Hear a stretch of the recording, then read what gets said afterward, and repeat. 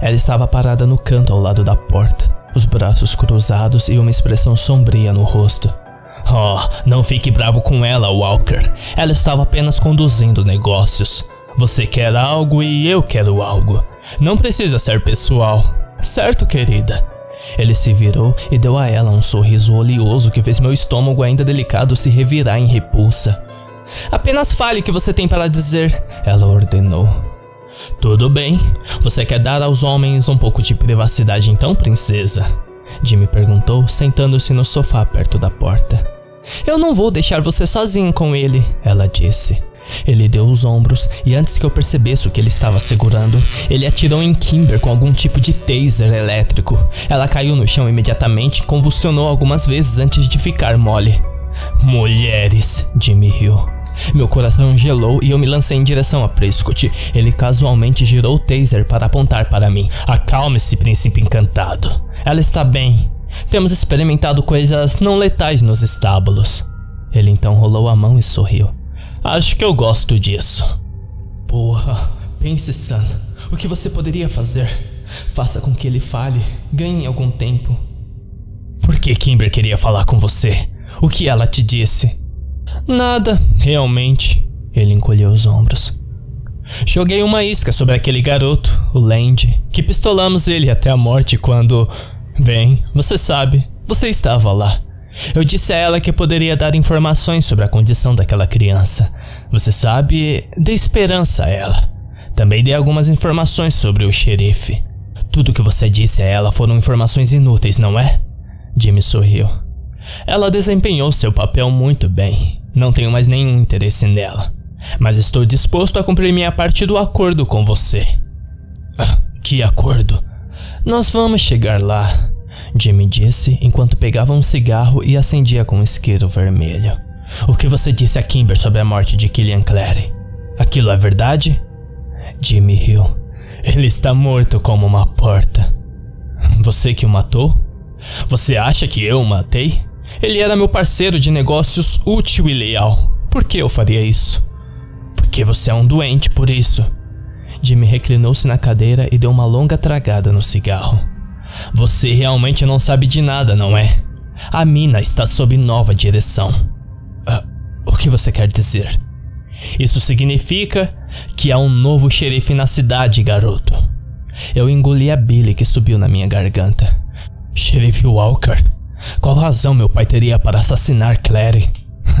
Simples, porque Killian foi o responsável por enviar sua irmã ao encontro com um cavalheiro brilhante e metálico. Eu balancei a cabeça. Eu não posso acreditar que ele estava trabalhando com você. Acredite, garoto. Você não vai nos dar os arquivos sobre Borrasca, vai? Porra, claro que não, filho. Isso incriminaria a mim e toda a minha família e os registros médicos de Kylie e Annie Destaro. Acredite em mim, não há nada aí que possa ajudá-los. Então que merda você quer nos oferecer? Jimmy apagou o cigarro diretamente na mesa do centro ao lado dele e se inclinou para a frente. A chance de matar seu pai. Eu zombei. Por que você iria querer isso? Olhe ao redor, garoto. Essa cidade virou um pedaço de merda, lixo branco, podre e imunda sombra do que já foi um dia. Quando Walker assumiu a cidade, ele mudou o modelo dos negócios. Costumávamos prestar um serviço nessa cidade. Era uma merda do jeito que fazíamos, devo admitir. Mas no final, as pessoas passaram a viver em uma cidade rica e criar suas famílias como faziam antes que a água fosse contaminada. Drinskin era um pequeno lugar agradável de que as pessoas podiam se orgulhar. Até você tem que admitir isso. Drinsk é uma porra de uma fachada. Nada disso é real. Era real para eles, para seus professores, seus amigos, até para Maria e Owen Grad. Aliás, ouvi dizer que você assustou eles algumas semanas atrás. Cara, quando eu ouvi essa história eu ri tanto. Não pensei que você abriria a mão do seu anonimato tão rápido, visto que essa era a única coisa que você tinha de vantagem a seu favor. Além de mim agora, é claro. Jimmy Prescott estava maluco. Eu senti como se meu crânio fosse quebrar com a audácia de tudo isso. Trabalhar ao lado de Jimmy Prescott para matar meu pai era a definição de insanidade suicida. De qualquer forma, garoto, foi isso. Seu pai se tornou xerife. O grande novato idiota vira todo o sistema de cabeça para baixo. De repente, viramos uma operação de comércio sexual. Os superiores estão felizes porque eles conseguem as garotas e mais dinheiro do que antes. Walker realmente não se preocupa com dinheiro desde que continuem o apoiando para que cada dólar que ganhamos com os estábulos vá direto para os bolsos dos escalões superiores. Não há mais dinheiro para a cidade, não há mais bebês para as famílias. O legado dos Prescott está em ruínas. É tudo e apenas tráfico sexual agora. É apenas impróprio se me perguntar. E você tem certeza que o xerife está envolvido com tudo isso? envolvido? Ele está no comando agora, garoto. Você ouviu alguma coisa do que eu te disse? Então você quer que eu o mate? Jimmy tirou o chapéu em minha direção. Eu ficaria muito grato por isso. E por que você mesmo não faz isso? Eu disse, observando Kimber com o canto do olho. Ela ainda não havia se movido. Porque você é a única pessoa na Terra que vai conseguir matar seu pai. Eu ri. Se você acredita nisso, é mais burro do que eu pensava. Você escolheu o garoto errado, Prescott. Meu pai me mataria sem pensar duas vezes. Era a Whitney que ele amava. Um arrepio percorreu minha espinha. Amava não era a palavra certa. Eu não acredito nisso. Ele poderia já ter matado você se quisesse. Saindo falando mal da cidade como você fez sobre falar dos bebês roubados. Ele o deixou sozinho aqui, não foi? Ele sabe onde você está. Todo o escritório do xerife já sabe. Mas eles estão proibidos de atacar você. Por ordem dele. Isso não faz nenhum sentido. Quero dizer, por quê? Prescott encolheu os ombros. Não faço ideia. Acho que provavelmente é apenas um jogo. Você joga até cruzar os limites da cidade. Walker tinha uma queda por jogos doentios com seus filhos. É nojento, se você me perguntar. Temos ideias muito diferentes sobre o que é nojento, Prescott, eu disse. Acho que você vai mudar de ideia antes de sair da cidade, Jimmy falou lentamente. Você realmente acha que o xerife me deixaria chegar perto dele sabendo que eu tenho uma arma e pretendo matá-lo? Acho que você tem uma chance.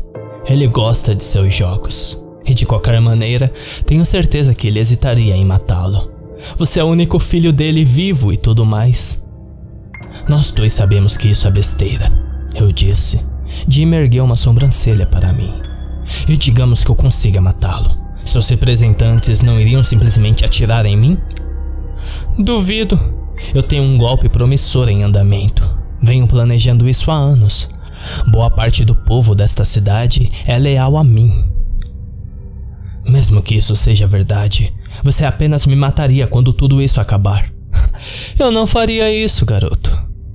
Por que não? Você estaria no comando, então para que me manter vivo? Eu quero Borrasca exposta. Eu quero que todos vocês apodreçam na cadeia. Garoto, eu não quero estar no comando.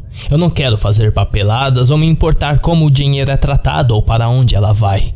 No entanto, você poderia fazer isso. Eu digo, para derrubar o xerife e nomear você mesmo como grande comandante do campus. Vai se fuder! Eu nunca estaria interessado neste negócio e não entendo por que Kimber pensou que eu estaria. Bem, eu nunca contei a ela sobre essa parte de te colocar no comando. Então que parte você disse a ela? Eu prometi a ela que contaria onde o namorado dela está. Ou melhor, o irmão dela. Eu disse que ela teria uma chance de matar seu estuprador. O estuprador dela já está morto. Você acabou de dizer que ele morreu anos. Nananina não. Jimmy recostou e colocou os braços atrás da cabeça. O abusador dela não está morto. Meu cérebro bateu em uma parede de tijolos. Eu não conseguia entender que diabos ela estava tentando me dizer. Não olhe para mim, garoto. Ela não foi designada para mim. Pense melhor. Tudo que eu estou lhe dizendo. E então ele clicou.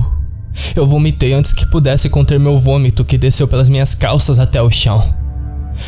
Isso mesmo, garoto. Seu pai é o culpado. Você conta, eu resmunguei. Você pode dizer ao xerife que eu estou indo matar ele. Eu gosto da sua fúria, garoto. Mas controle essa merda. Você vai precisar muito mais do que uma raiva cega aqui. Jimmy largou um pedaço de papel branco dobrado na mesinha de centro ao lado de sua pilha de cinzas de cigarro. Essas são as coordenadas da nova operação. Use seu telefone ou algo assim para localizar. Jimmy se levantou e tirou a perna de Kimber do caminho com a ponta da bota. Mal posso esperar para ver o que você está preparando. Basta lembrar que preciso dele morto, não incapacitado. Ele abriu a porta e saiu. Então parou abruptamente do outro lado da soleira. E ah, o xerife sempre usa coletes à prova de bala. Sempre. Provavelmente até mesmo quando ele está transando com sua esposa. Ele riu de sua própria piada e fechou a porta atrás de si. Assim que ele fechou, tropecei até a porta e tranquei-a com as duas fechaduras. Então eu desabei contra a porta e rastejei até Kimber, que não havia se movido desde que foi eletrocutada. Eu estava preocupado que ela tivesse recebido uma carga muito alta para seu pequeno corpo. Rolei Kimber para o lado dela, uma manobra de salvamento que um adicto como eu precisava saber, e quando fiquei satisfeito por ela ainda estar respirando, arrastei um travesseiro da cama e coloquei debaixo e coloquei debaixo da cabeça de Kimber. Eu queria dar um soco e algo, eu queria quebrar alguma coisa ou espancar alguém até a morte. Não qualquer um. Meu pai. O homem que Kimber conheceu aos nove anos de idade. O homem que a viu crescer como sua própria filha porque eu ainda estava malditamente surpreso depois do que ele fez com Whitney. Eu tinha matado meus monstros e agora queria matá-lo também. E talvez o pior de tudo, Kimber não tinha me contado. Ela guardou para si para me proteger da dor. Eu era a cara do meu pai, já sabia disso e Prescott tinha confirmado. Mas ela nunca recuou de mim com nojo ou olhou para mim com medo. Eu sabia que o xerife tinha que morrer Jimmy Prescott, doentio e louco que era, estava prestes a conseguir exatamente o que queria. Mas eu sabia que também não poderia deixá-lo viver. Prescott não conseguiria me manter vivo e eu seria um risco para seus planos. Ele sabia disso. Ele sabia que eu sabia disso. Ele estava simplesmente me presenteando com uma mentira que eu poderia usar para me consolar enquanto me preparava para enfrentar tudo isso, porque eu sabia se Jimmy Prescott estava me pedindo ajuda, isso significava que ele havia perdido completamente o controle da situação. E se Jimmy, com todo o seu dinheiro e influência, não conseguia ter o xerife morto, ninguém mais poderia, exceto talvez eu. Aposto que meu pai nutria qualquer sentimento remanescente por mim. Eu tinha apenas as amarras iniciais de uma estratégia, mas logo teria um plano completo. E eu sabia com certeza que não poderia envolver Kimber. Eu não iria trazê-la para a mina comigo. Eu a já coloquei em muito perigo. Eu tive que descobrir como executar isso perfeitamente porque, perfeitamente, era a única maneira de funcionar. Mas, por enquanto, eu ficaria apenas deitado no chão enquanto o corpo latejante doía com minha coerência. Uma dor aguda começou a empurrar em minhas costas entre minhas omoplatas.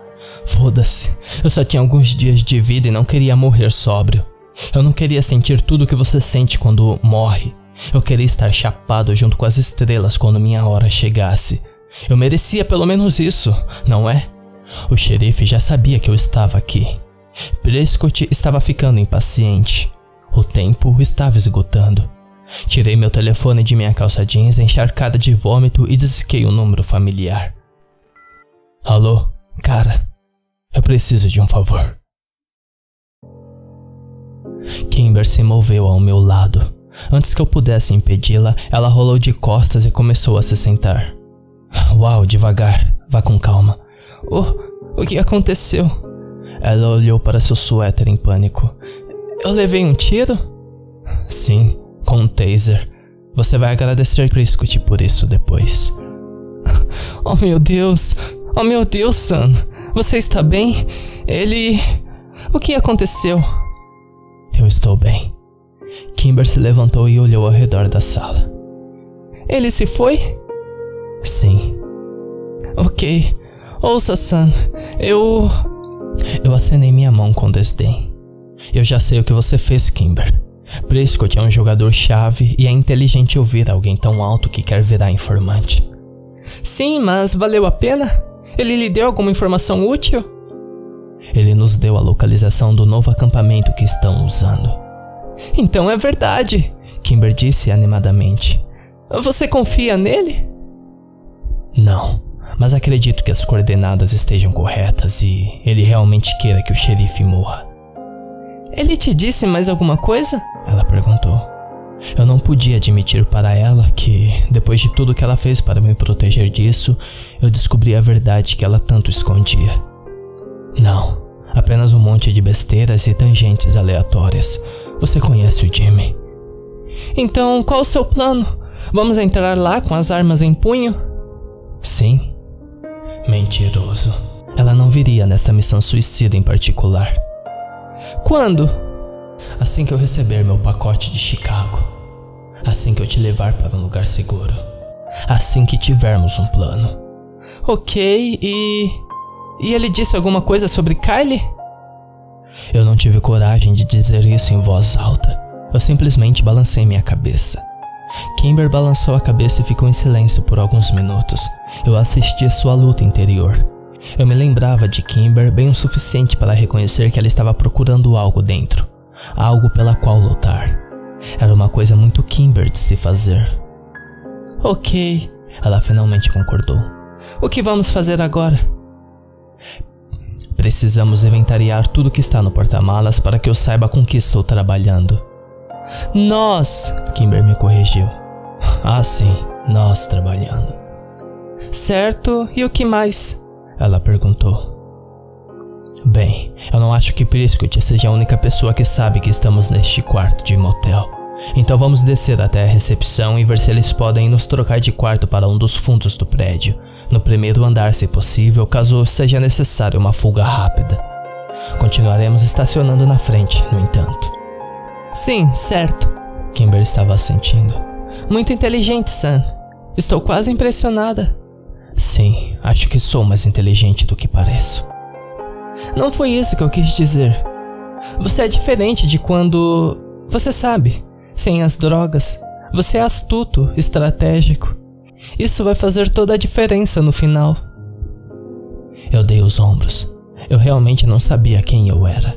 Eu estava com muito frio e muito rígido. Meus movimentos pareciam não naturais.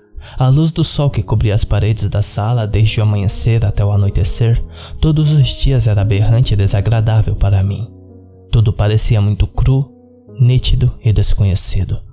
Mas pela primeira vez em muito tempo fui capaz de me lembrar de cada minuto do meu dia. Minhas motivações também foram muito mais claras e coerentes. Manter os monstros mortos, matar meu pai, e, acima de tudo, manter a segurança de Kimber a todo custo. Esses eram meus objetivos. Paramos o carro na parte de trás do prédio e inventariamos o arsenal de Kimber naquela tarde. Havia dois coletes à prova de balas e 27 armas no total. Sete rifles, duas espingardas, 18 pistolas, incluindo a bereta que eu sempre mantive comigo. Kimber tinha 460 cartuchos variados. Passei a maior parte dos dois dias seguintes fingindo fazer um plano com ela e esperando meu pacote chegar de Chicago. Eu estava começando a me sentir tão culpado por planejar deixá-la para trás que me perguntei se talvez fosse até cruel. Ela queria vingança. Ela merecia. Mas Kimber já havia sofrido muito. Ela não deveria morrer por vingança. Não quando eu poderia fazer isso por ela. A morte que a aguardava em Borrasca era uma morte que não merecia. Uma morte honrosa. Eu não poderia viver com isso. Então, um dia, Kimber recebeu um telefonema da recepção enquanto eu estava no banho. Meu pacote havia chegado e não estava lá para interceptar a recepção de avisá-la. Eu odiava esconder qualquer coisa de Kimber, principalmente agora, mas sabia que se ela descobrisse sobre o pacote misterioso, ela poderia perceber que eu havia planejado algo sem ela. Quando saí do banheiro, o pacote estava na minha cama, fechado. Kimber estava casualmente enrolada na poltrona, assistindo algo na TV como se nada estivesse de errado. Não comentei nada e movi suavemente a caixa para a área entre a cama e a parede onde guardei na minha mochila. Eu respirei fundo. Eu quase temia este dia porque agora que o pacote estava aqui, as coisas começariam a andar muito rapidamente. Dois dias. Eu disse em voz alta. Em dois dias? Kimber perguntou sem tirar os olhos da tela. Isso, faremos essa merda na quarta-feira. Eu não conseguia acreditar que eu realmente sabia que era segunda-feira. Normalmente eu estava em ressaca nesses dias. Eram essas pequenas coisas que continuaram a me impressionar. Kimber chutou os pés da cama e se sentou na poltrona. Estamos realmente prontos? Ela perguntou. Teremos que estar. Nosso plano é sólido e estamos ficando sem dinheiro. Precisamos fazer um movimento. Não podemos apenas esperar que eles esqueçam que estamos aqui. Você acha que deveríamos passar por algumas cidades e pegar mais munições? Não vai ser necessário. Se não pudermos fazer isso com 500 balas, realmente não faremos de jeito nenhum. E preciso do número de Prescott para perguntar quando o xerife estará na montanha. Eu já mapeei as coordenadas que ele nos deu e levará menos de 40 minutos para chegar lá. Certo, eu vou ligar para ele. Ela disse e puxou seu telefone. Não, eu não quero mais que você tenha contato com ele. Uma vez já foi ruim o suficiente. Sam, eu posso lidar com isso. Foi eu que nos trouxe aqui, lembra? Kimber, você sabe o que aquele homem fez. Sim, eu sei melhor do que você, Sam, ela disse amargamente. Me dê o número. Olhamos um para o outro por alguns minutos, ambos se recusando a recuar. Por que você está tentando me tirar da equação? Ela perguntou finalmente. Eu, eu, eu não estou. Eu menti. Kimber olhou para mim com raiva e então jogou o telefone na minha cabeça. Pegue você mesmo! Ela se recostou na cadeira e me observou enquanto eu pegava seu telefone do chão e importava o número para o meu. Eu sei que você não me deixaria neste maldito hotel, Sam, ela disse.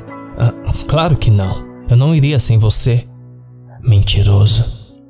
Ótimo. Então eu preciso dizer que antes de matarmos Jimmy, eu quero que ele nos diga onde eles estão mantendo Kylie. Ah, o quê? Eu enviei a mensagem de texto para Prescott e em seguida tirei a 9mm debaixo do meu travesseiro onde aguardei e verifiquei o clipe pela centésima vez contando as balas. O que você quer dizer com onde eles estão mantendo Kylie? Eu te falei sobre isso, mas não estou surpreso que você não se lembra. Kylie não está nos Land. Ele não mora mais com a família há anos. Caso contrário, eu já teria ido buscá-lo quando chegamos à cidade. Jimmy te disse isso? Eu perguntei. Sim, ele disse que ele está em uma casa, ou centro de saúde, ou um hospital, ou. ou algo assim. Talvez ele nem mesmo esteja em Drinskin. Prescott não quis me dizer, mas eu sei que ele sabe e prometeu me dizer se pudermos matar o xerife. Presumo que você planeje matar Jimmy também. Eu quero saber onde Kylie está antes de você fazer isso. Eu concordei. Eu tive que dar isso a ela. Eu daria isso a ela. Eu teria certeza de arrancar essa informação do Prescott antes de matá-lo e levar essa informação para Kimber antes de ser morto a tiros. Só não sabia como, e não tinha muito tempo para descobrir isso. Meu telefone tocou. Era Jimmy. Quem diabos está falando? Eu, Sam Walker. Ah, e onde está a garota de Staro? Você fala somente comigo a partir de agora. Ei, é você mesmo? Quando o xerife estará em Borrasca. Ninguém chama aquilo de borrasca, idiota. Quando diabos ele estará lá, Jimmy? Seu pai está indo para os estábulos amanhã de manhã. Presumo que ele vai ficar mais um pouco do que o necessário. Tem algumas garotas que ele realmente gosta lá agora. Você sabe como é quando você compra uma boneca nova.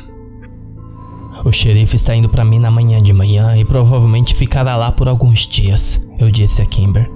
Perfeito, ela disse, mas seu tom atraiu. Eu podia ouvir incerteza em sua voz e medo. Eu gostaria de poder dizer a ela que ela estava segura e que nada iria acontecer com ela mas ela não podia saber disso ainda. Faremos nosso movimento na quarta-feira de manhã, pouco antes do amanhecer, eu disse. Deve estar escuro o suficiente para ver, mas ainda assim manter uma cobertura decente. Kimber acenou com a cabeça, então se levantou e começou a andar ao redor. Precisamos preparar muita coisa para amanhã. Descubra quantas armas podemos carregar e quanto de munição pode caber em nossos bolsos. O recarregamento leva um tempo quando você não está treinado. Talvez amanhã possamos revisar as armas que você estará carregando e eu posso familiarizá-lo com como carregar rapidamente os clipes. Temos que nos preparar o quanto antes. Talvez amanhã à noite. Boa ideia. Eu disse o mais impassível que pude. Eu sabia que amanhã à noite eu já haveria partido, mas eu precisava fazer algo primeiro. Algo em que eu estive pensando desde os sonhos que tive no auge da abstinência. Eu precisava rever minha mãe. Eu queria que ela soubesse que eu ainda estava vivo e precisava saber se ela sabia o que meu pai estava fazendo com as pessoas. Eu simplesmente não conseguiria aceitar que ela sabia. E mesmo se isso fosse verdade, eu acreditava que minha mãe nunca me entregaria ao xerife se ela achasse que ele poderia me machucar. Ela amava muito seus filhos. Eu olhei para Kimber e percebi que hoje era o último dia que eu teria com ela. Eu precisava tirá-la da cidade, mas não agora. Ainda não. Era nosso último dia juntos e eu não queria gastá-lo discutindo. Haveria o suficiente disso amanhã. Meu telefone tocou e olhei para baixo para ver uma nova mensagem de Jimmy que dizia: Você finalmente planeja agir, garoto? Dormi pouco naquela noite, acordando bem depois das onze, grog e com dores de cabeça. Kimber não disse uma palavra para mim enquanto eu preparava o café atrás da cafeteria do motel. Passamos a maior parte da manhã e do início da tarde em um silêncio prolongado e desconfortável. Eu pensei que talvez ela estivesse nervosa ou com medo, e hoje era apenas o silêncio antes da tempestade. Mas com o passar da tarde, peguei-a deslizando olhares calculados e zangados pela sala enquanto fingia ler um livro após livro. E foi então que eu percebi que ela já sabia. O que houve? Eu disse, finalmente terminando a charada. Eu não queria dizer isso. Eu esperava passar mais algumas horas com ela antes do fim, porque eu sabia que daquele ponto em diante, as últimas memórias de Kimber de mim seriam a traição e engano. Eu me preparei para a luta que se aproximava. Você saiu do seu quarto ontem à noite. Você se foi por horas, ela disse. Eu não respondi. Não havia sentido em negar. E aquele pacote que você recebeu ontem de Chicago? Ela continuou.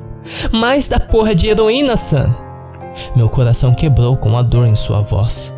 Kimber estava começando a entender o que eu estava fazendo com ela. Você vai negar isso? Kimber perguntou, e embora sua voz estivesse zangada, ouvi o apelo por debaixo. Por favor, negue, por favor.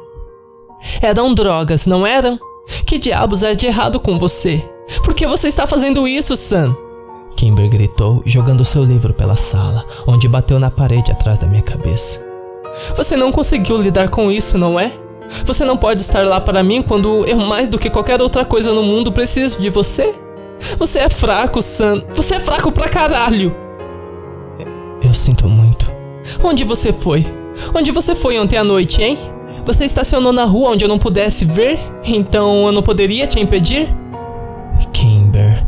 Você é um pedaço de merda e eu gostaria que estivesse sido você ao invés de Kylie. Deveria ter sido você. Muitas vezes eu pensava exatamente o mesmo. Mas ouvir isso dela doía muito mais. Eu também. Minha admissão silenciosa pareceu deixá-la sóbria. Kimber apertou as mãos para acalmar a raiva e o medo que estavam gerando correntes elétricas selvagens por todo o seu corpo que se manifestavam como violentos estremecimentos. Ela sabia que era o fim, e pela primeira vez desde que cruzamos para Missouri, Kimber e eu estávamos bem e verdadeiramente sozinhos. Nem mesmo tínhamos mais um ao outro. Não tínhamos nada. Prescott não vai mais falar comigo, ela disse com mais calma dessa vez enquanto tentava se recompor. Isso significa o que eu acho que significa? Sim, eu respondi. Então você está planejando me deixar para trás, Sam? Eu respirei fundo e respondi honestamente. Sim.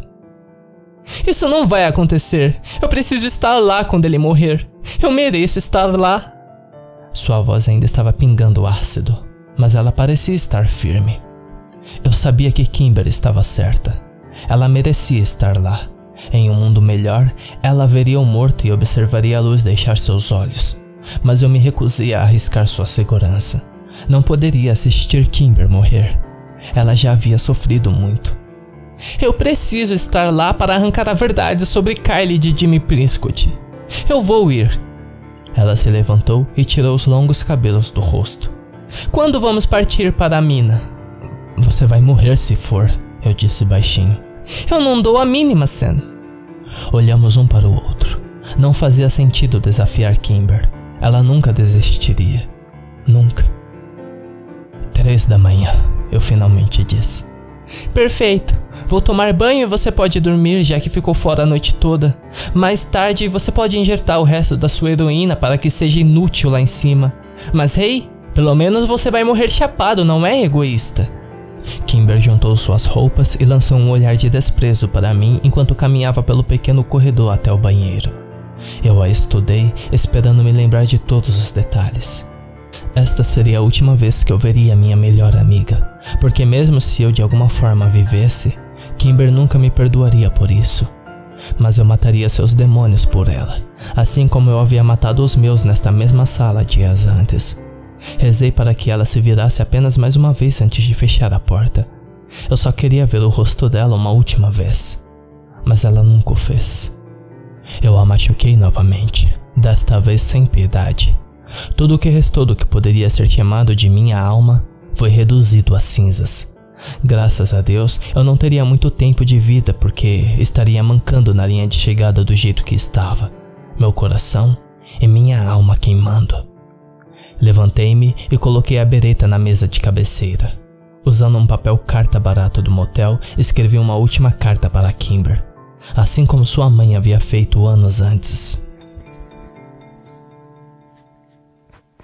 Desculpe por isso, Kimber. Eu parti com o carro. A outra picape vermelha que está estacionada perto de nós há uma semana. Eu passei as chaves e elas estão na gaveta. Eu salvei o número de Sif em seu telefone. Ligue para ele quando chegar à fronteira e ele lhe dirá para onde ir. Ele conhece meu plano e vai cuidar de você. Coloquei o bilhete sobre a arma e rezei para que Kimber desse atenção. Eu podia sentir o gosto de sal e cinza quando deixei a porta do hotel se fechar atrás de mim e percebi que conhecia bem aquele sentimento de arrependimento. Dei a volta no prédio e subi no velho Mazda de Kimber. Eu queria deixar seu próprio carro para ela, mas seria muito arriscado transferir as armas do Mazda para a picape vermelha. Saí do estacionamento e entrei na rodovia em direção ao oeste. Havia apenas mais uma tarefa a cumprir antes de fazer minha viagem para a montanha acima. Meu coração afundava a cada quilômetro que passava e havia poucos quilômetros preciosos entre o hotel e minha antiga casa. E antes mesmo de decidir se ir para casa era uma boa ideia, eu já estava entrando na garagem da minha antiga casa. A casa era muito diferente do que eu me lembrava. Meus pais construíram um anexo na sala de jantar e alargaram a janela em compartimentos no andar inferior porque eles sentiram que precisavam de espaço extra quando seus filhos estavam praticamente mortos. Era estranho subir as escadas familiares do pátio e tocar a campainha como se eu fosse um estranho. O carrilhão de dentro também era diferente, mas cadenciado e melódico. Esperei alguns minutos balançando pé a pé, imaginando o que diria a mulher que me criou quando abrisse a porta. Se ela abrisse a porta. Eu estava começando a duvidar que houvesse alguém em casa. Como não tinha mais nada a perder, decidi tentar bater na porta da frente. Estava trancada. Bati com força na janela ao lado dela. Mãe, eu disse pela porta. É o Sam. Nenhuma resposta. Ela estava em casa? Adormecida? Ainda trancada no quarto de Whitney lamentando sua dor depois de todos esses anos? Pulei o parapeito do prédio e fui para o quintal. Meus pais construíram um deck de madeira gigante onde ficava a varanda dos fundos, completa com uma banheira de hidromassagem e até um bar. Eles certamente estavam vivendo bem sem nós, hein? Senti a ira e a indagação fervilhando logo abaixo da superfície, mas segurei meu controle, um superpoder que eu havia adquirido recentemente.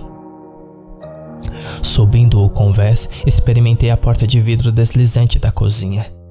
Ela prendeu em algo, mas com um forte puxão foi capaz de liberá-lo e a porta se abriu, permitindo-me acesso à casa. Havia mais atualizações internas, incluindo pisos de mogno e aparelhos de cozinha da última geração. E por que não? O que mais eles fariam com o fundo da faculdade de seus filhos? Eu pensei amargamente. Mamãe! Eu chamei novamente e pulei a soleira. Enquanto eu esperava por uma resposta, meus olhos começaram a vagar pela sala. A maioria das paredes apresentava algum tipo de arte, mas de vez em quando eu encontrava lindas fotos emolduradas penduradas com reverência entre elas. Fui para a sala estudando fotos emolduradas, todas penduradas na parte mais propícia da parede como se estivessem em adoração. E claro, todas as fotos eram de Whitney. Ele a nunca deixará em paz. Nunca. Eu queria bater em algo. Enquanto vagava pela casa, comecei a perceber que algumas das fotos eram duplicadas, como se meu pai não tivesse fotos suficientes de Whitney para cobrir a casa inteira. Não havia foto dos meus pais, nem fotos minhas. Subi as escadas e era mais do mesmo.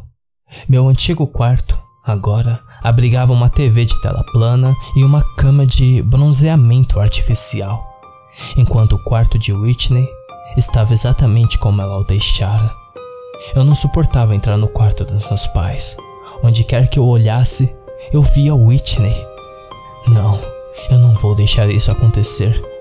Eu coletei as fotos de todos os cômodos, flower e corredores e em seguida joguei as fotos, incluindo vidro e moldura, na pia de mármore profunda da cozinha. Em seguida, peguei uma garrafa de uísque no bar externo e derramei generosamente no santuário do xerife. Peguei um cigarro, acendi e levei o isqueiro até a pia encharcada de álcool, onde explodiu uma pirâmide de chamas famintas. Eu queimaria tudo. Eu iria queimá-lo também. Enquanto eu fumava o cigarro e esperava o alarme de fumaça disparar, ouvi um som familiar do corredor do outro lado da sala. Alguém estava abrindo a garagem. Eu não sabia o que diria a ela, mas ela precisava me responder por tudo isso. Eu precisava saber o que ela sabia sobre a morte de sua filha e os crimes de seu marido. Eu ouvi a porta abrir e então ela estava andando pelo corredor em direção à cozinha. Joguei meu cigarro nas chamas e fui em sua direção. Mas não era minha mãe que emergiu da escuridão. Emily! Levou apenas alguns segundos para reconhecê-la. Emily não envelheceu muito desde que éramos adolescentes e ela estava absolutamente linda, mas eu não conseguia descobrir o que diabos ela estava fazendo na minha casa. Emily imediatamente largou as sacolas que carregava em estado de choque e se esgueirou de volta contra a parede. Quem é você? O que você está fazendo na minha casa? Ela disse rapidamente, seus olhos atraídos para o fogo silenciosamente queimando atrás de mim. Eu ia te perguntar a mesma coisa. Por que você está aqui? Que é que está queimando? Sua voz subiu para uma histeria aguda. O que há na pia? O que você está fazendo na minha casa, Amy? Seus olhos finalmente deslizaram para meu rosto com o uso familiar de seu nome. Eu assisti o reconhecimento hesitante amanhecer nela. Sam? Sim. Agora responda a minha pergunta. Por que você está na minha casa? Onde está minha mãe? Sua mãe? Ela repetiu. Sim, ela mora aqui, sabe? Alta, morena, sempre tentando alimentar todo mundo, casada com um xerife. Emily finalmente pareceu recuperar a compostura. Emily finalmente pareceu recuperar a compostura. Ela se endireitou contra a parede, mas se recusou a se afastar dela. Na verdade, eu sou casada com o xerife. Pensando bem, ele mencionou que você estava na cidade. Uh, você está casada com meu pai? Meu estômago embrulhou. Sim, há sete anos. Ela cruzou os braços na frente dela e sorriu.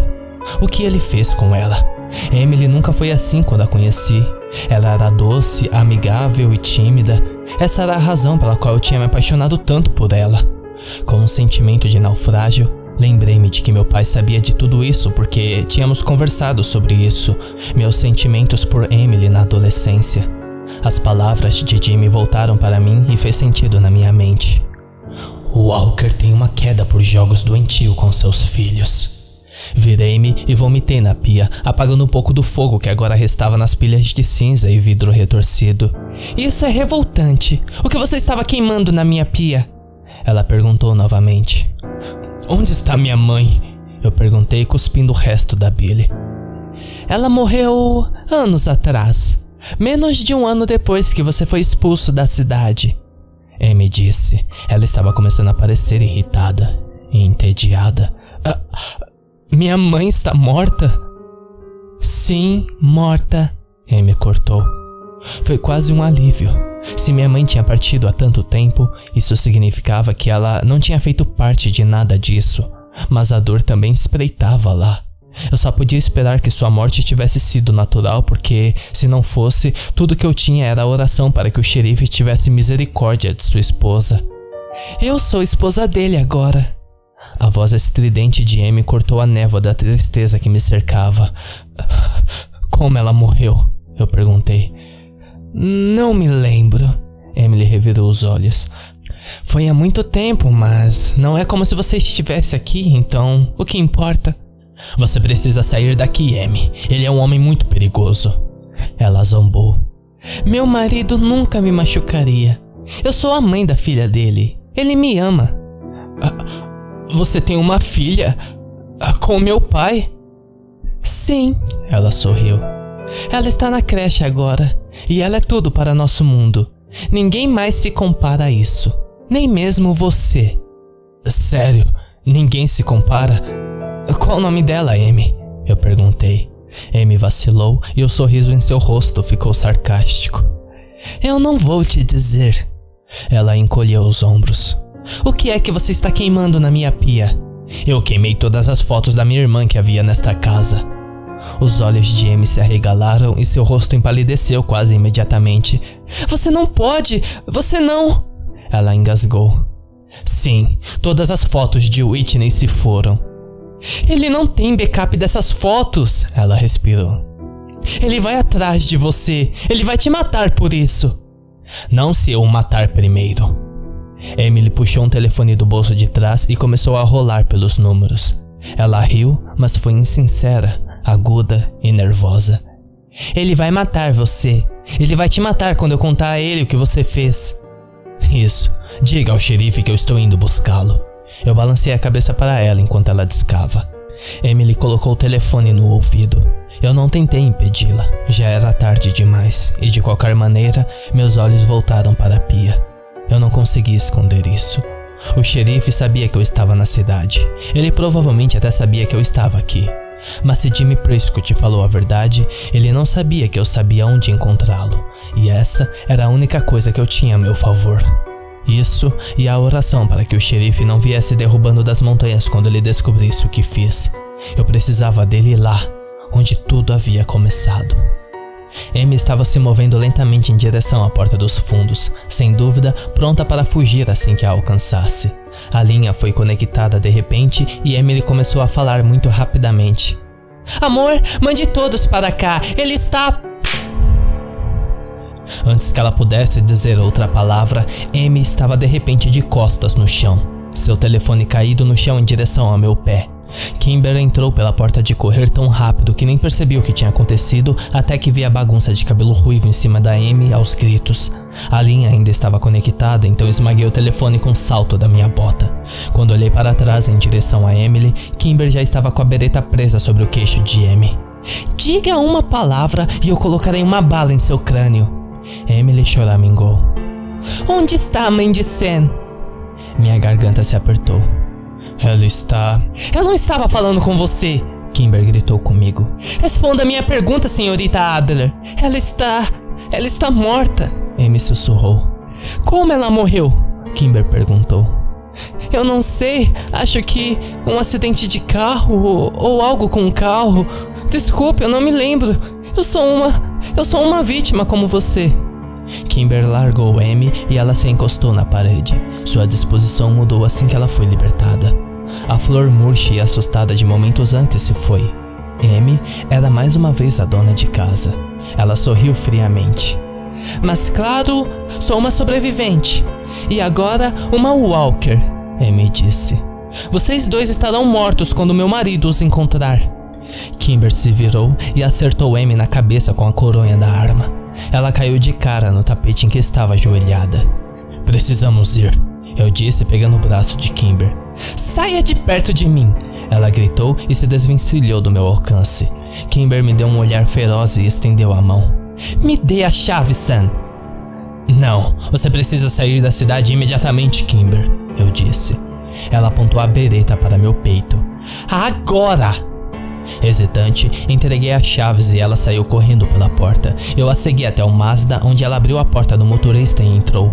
A picape vermelha estava estacionada no esmo do jardim da frente, a grama rasgada sob os pneus e a porta do motorista aberta. Eu caminhei até o Mazda enquanto Kimber fazia uma careta para mim, mas não entrou. Kimber, eu prefiro morrer do que levá-la comigo até a mina. Eu disse a ela pela janela aberta, sua mão flexionada com os nós dos dedos no volante. Não me faça deixar você aqui, ela disse enquanto as sirenes à distância das viaturas da polícia começaram a rastejar na vizinhança. Porra! Eu gritei. Kimber sempre consegue o que quer. Antes mesmo da minha porta ser fechada, Kimber já estava gritando para fora da garagem.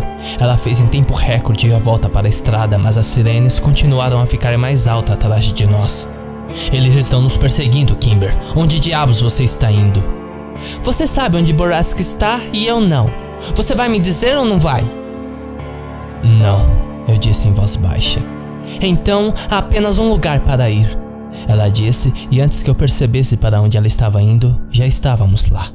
Ela parou na parte de trás do Hotel Prince Ride, estacionou. Estacionou e caminhou direto ao nosso quarto de hotel. Ela nem se deu ao trabalho de trancar ao sair. Corri atrás dela, fechando a porta do hotel atrás de mim.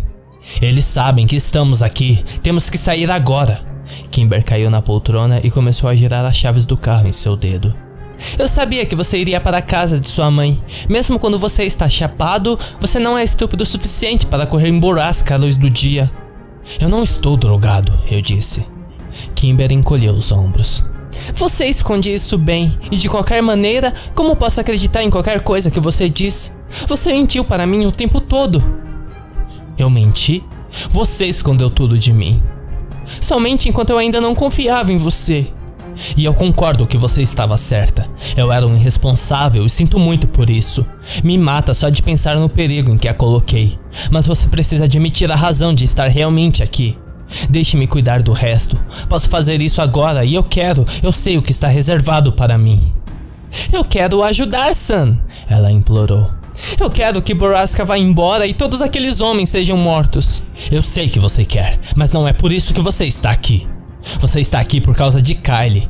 Não estou dizendo que isso é errado, Kimber, mas. Eu estou aqui por Kylie, ok? Eu nunca fingi que não era. Mas também quero ver Boraska exposta.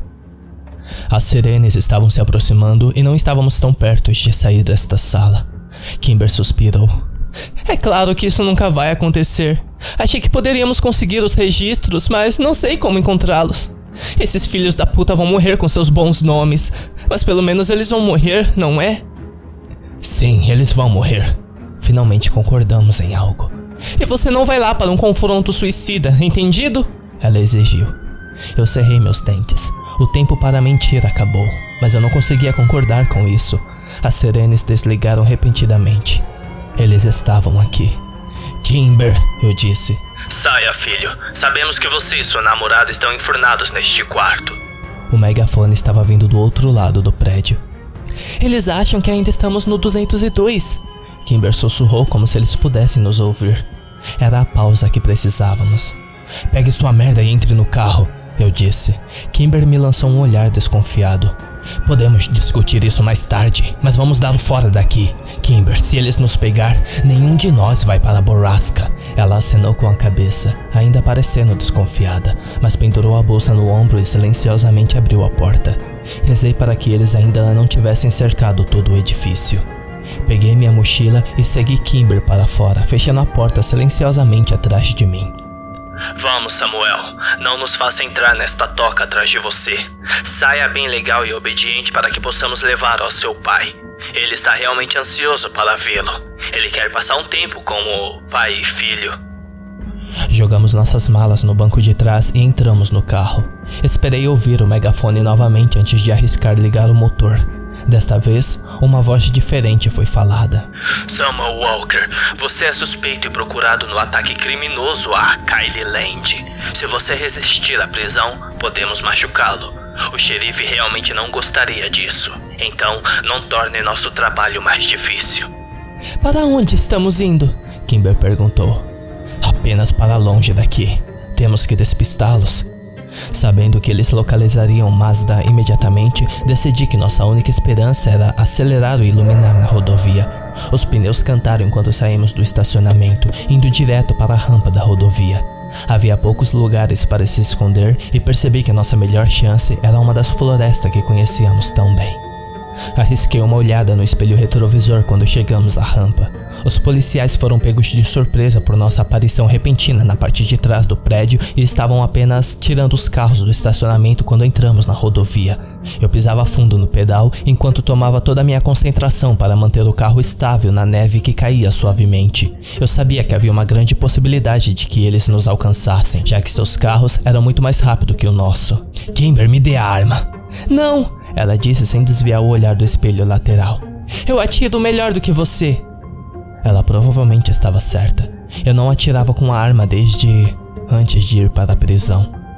A rodovia começou a curvar e eu sabia que este seria nosso único ponto cego em quilômetros, a única chance de fazer um movimento que eles não poderiam nos ver. Em vez de puxar para a direita, subi uma ansiada de floresta suavemente inclinada e inclinei sobre o divisor da estrada coberto de neve, cruzando o tráfego em sentido contrário e subindo a estrada de acesso mais íngreme e desafiador à minha esquerda. Rezei para que nossos rastros de pneu não fossem visíveis para eles com o tráfego moderado que o feriado jogando neve sobre elas. A neve caía suavemente por entre as árvores enquanto subíamos a estrada da montanha e eu sabia que se fôssemos chegar a algum lugar menos vulnerável, não poderíamos parar. A nevasca só ficaria mais pesada. Kimber permaneceu focada na estrada atrás de nós durante toda a nossa subida. Às vezes íamos devagar e ficávamos presos a cada dois quilômetros, e eu me perguntei se Kimber conseguiria voltar com o carro de manhã. Parecia não haver medo nela, nenhuma ansiedade em sua voz, nenhuma agitação em seus movimentos. Kimber sabia tão bem quanto eu que este era o fim, e ela não hesitou em conhecê-lo.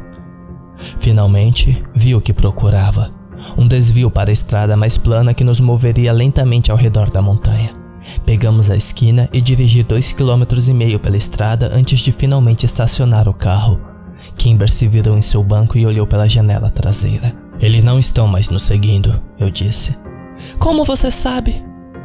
Porque já fui perseguido antes. Kimber se virou no banco e roeu a unha do polegar. Mas só porque não estamos sendo mais seguidos não significa que podemos voltar, eu disse. Eles não vão nos deixar sair desta montanha. Eu engasguei com uma respiração profunda no ar rarefeito da montanha, na esperança de acalmar meu coração acelerado. Kimber deu tapinha nas minhas costas. Respire, Sam.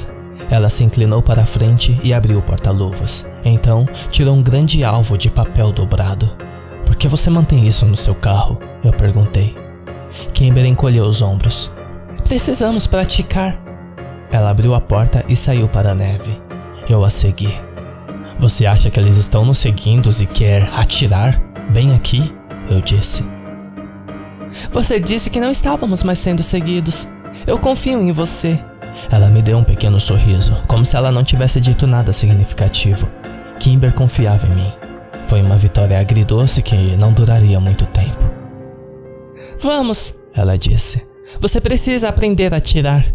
Use a bereta já que você a favorece tanto. Honestamente, eu apenas achei que parecia legal, eu admiti. Sim, e é legal de verdade. Você já atirou com uma arma de fogo antes? Uma vez, mas não acertei nada. Bem, isso não será aceitável aqui. Temos muita munição, mas não vai nos ajudar se você não conseguir acertar nada. Eu não poderia argumentar contra isso. Agora, o xerife provavelmente vai usar um colete, então você não pode mirar na massa corporal. Você vai precisar acertar na cabeça dele. O mesmo com Jimmy e qualquer outra pessoa que atire em você. Ok, eu disse, como se não estivéssemos discutindo sobre policiais treinados e assassinos. Kimber se afastou 20 metros e prendeu o alvo em um galho de árvore. Agora, a bereta é uma arma semiautomática, então você não precisa colocar cada cartucho na câmera. Basta apontar e atirar sucessivamente. Certo, eu disse. Você não precisa estender o slide porque já há uma bala na câmera de tiro. Seu pé esquerdo deve estar na frente do seu direito, na altura dos ombros. Segure a arma com as duas mãos. Isso. Agora alinhe e mire fixo no alvo. Aperte o gatilho quando estiver pronto. O tiro foi mais alto do que eu esperava. Ecoou pelas montanhas por quase três segundos. Bem, se eles não sabiam que estávamos aqui, agora já sabem. Não foi ruim, Kimber disse enquanto caminhava até o alvo. Você atingiu o círculo bem externo. Deixe-me corrigir um pouco da sua postura. Trabalhamos durante toda a tarde de forma semelhante, demorando muito a cada tiro. Eu disparava a arma, Kimber me ajustava ou me dava conselhos e então eu tentava de novo. A cada aperto progressivo do gatilho, ficava um pouco mais perto do centro do alvo. Ela trabalhou comigo até que o sol afundou no horizonte e as sombras ficaram muito longas para decifrar uma da outra. Eu estava começando a tremer no frio sem sol. Eu sei que você está congelando, mas esta é a quantidade perfeita de luz para praticar. Você ainda vai sair às três da manhã, certo? Sim, mas Kimber, eu não posso deixar você ir. Você sabe disso, certo? Por que você acha que eu estou ensinando você a atirar? Então você vai me deixar ir sozinho? Eu tenho escolha? Não. Kimber encolheu os ombros. Então acho que preciso. Foi muito fácil, enganosamente fácil. Nós dois sabíamos que ela não queria dizer isso, mas eu não queria discutir. Certo, abaixe-se como ensinei e tente acertar a bétula novamente. Vou pegar o SIG para mostrar como se faz com o rifle. Eu olhei para a casca branca da bétula distante através da mira. Eu estava determinado a acertar o tronco desta vez, mesmo sabendo que não teria o luxo de perder tempo alinhando minhas tacadas na mina. Precisava aprender a usá-las corretamente se quisesse ter algum tipo de chance de sucesso. Eu exalei lentamente e trouxe meu dedo para baixo enquanto envolvia o gatilho. San, pare! Eu me virei para ver Kimby parada no porta-malas do carro. Seu rosto estava vermelho de frio na última hora, mas ficou branco como a neve em que ela estava. O que foi? Vem ver! O que foi? Eu perguntei em confusão. Olhe isso! O que? Aproximei-me de Kimber e encarei o porta-malas. Tudo o que restava lá dentro era um colete à prova de balas e um pedaço de papel de ofício amarelo que dizia: Levamos todas suas armas. Sabemos que agora você tem apenas uma arma semiautomática. Estamos deixando este colete balístico para mostrar que jogamos limpo. Seu pai quer ver você. Venha até nós antes de chegarmos a você. As coordenadas estão abaixo. Assinado Os Caras Bonzinhos. Eles acabaram de ganhar, Kimber disse em uma espécie de perplexidade derrotada. E ela estava certa. Estamos absolutamente fodidos. Não, eu disse. Talvez ainda possamos. Kimber deu um tapa na minha cara. Ela pareceu se arrepender imediatamente, como se tivesse se surpreendido, mas continuou mesmo assim. Não seja idiota, Sam! Kimber puxou a 9mm da minha mão e agitou o clipe. Estava vazio. Você não tem nada com você? Nada? Eu perguntei com medo. Eu poderia prosseguir meu plano com pouca munição, mas não poderia sem nada. Nenhuma, disse Kimber enquanto colocava o slide exceto isso. Uma bala saiu da câmera e caiu na fina camada de neve abaixo de onde afundou. Eu caí de joelhos para recuperá-la. Uma bala. Uma bala. Provavelmente teríamos falhado com mil balas, mas com apenas uma, eu poderia muito bem colocá-la na minha cabeça. Quando que eles estiveram aqui? Eu estava começando a entrar em pânico. Eu não sei. Depois de fazermos nosso inventário dias atrás, ou agora há pouco, não sei. Droga, droga. Como eles sabiam o que estávamos carregando com nós? Eles provavelmente estão nos observando, Kimber disse. Ou Jimmy disse a eles. Eu balancei minha cabeça freneticamente, incapaz ou sem vontade de compreender nossa situação atual. Eu não conseguia controlar meu medo. Precisávamos nos sentar. Precisávamos nos acalmar. Entre no carro, eu finalmente disse. Precisamos entrar no carro. Fechamos as portas e liguei o motor soprando o ar quente para dentro da cabine. Corremos por 20 minutos, mas nada parecia dissipar o frio. Talvez devêssemos apenas desistir, A voz de Kimber vacilou quando ela finalmente falou. Seu choque estava derretendo em desespero. E voltar daqui mais dez anos? Eu não queria dizer a ela que não poderíamos partir. Eles estavam rastreando o carro. Eles sabiam exatamente onde estávamos. Eles sempre sabiam. Todas as estradas da montanha já estavam bloqueadas. Todas as estradas agora nos levaria a Borrasca. Tirei minha jaqueta e a empurrei para trás, que estava começando a latejar de dor. Kimber dormia e acordava ocasionalmente. Eu desligava o carro para economizar gasolina, certificando-me de cobri-la com todas as roupas que podia encontrá-la em nossas mochilas. Era meia-noite, a floresta estava silenciosa e não havia luar para revelar o que cercava o carro. Fomos envolvidos por um ar vazio, negro e gelado. Eu estava com frio, cansado e com dores. Precisava esperar algumas horas antes de amanhecer para começar minha caminhada até a mina e a caminhada até Borrasca seria cerca de duas horas e meia de onde estávamos. Eu tinha que deixar Kimber com um gasolina suficiente para descer a montanha e sair da cidade, porque assim que o xerife estivesse morto, ou eu, eles estariam procurando por ela. Eu a observei dormir e me perguntei sobre a loucura do mundo. Todos nós deveríamos ter vivido uma vida normal nos formarmos juntos, irmos para a faculdade, sermos companheiros de quarto, viajarmos pela Europa. Mas nada disso poderia acontecer agora. E que ironia cruel era o fato de Kimber ser mais irmã para mim do que jamais fora para Kylie. O universo era apenas um grande idiota. Esfreguei meus olhos e pensei em enfrentar o frio lá fora para fumar um cigarro.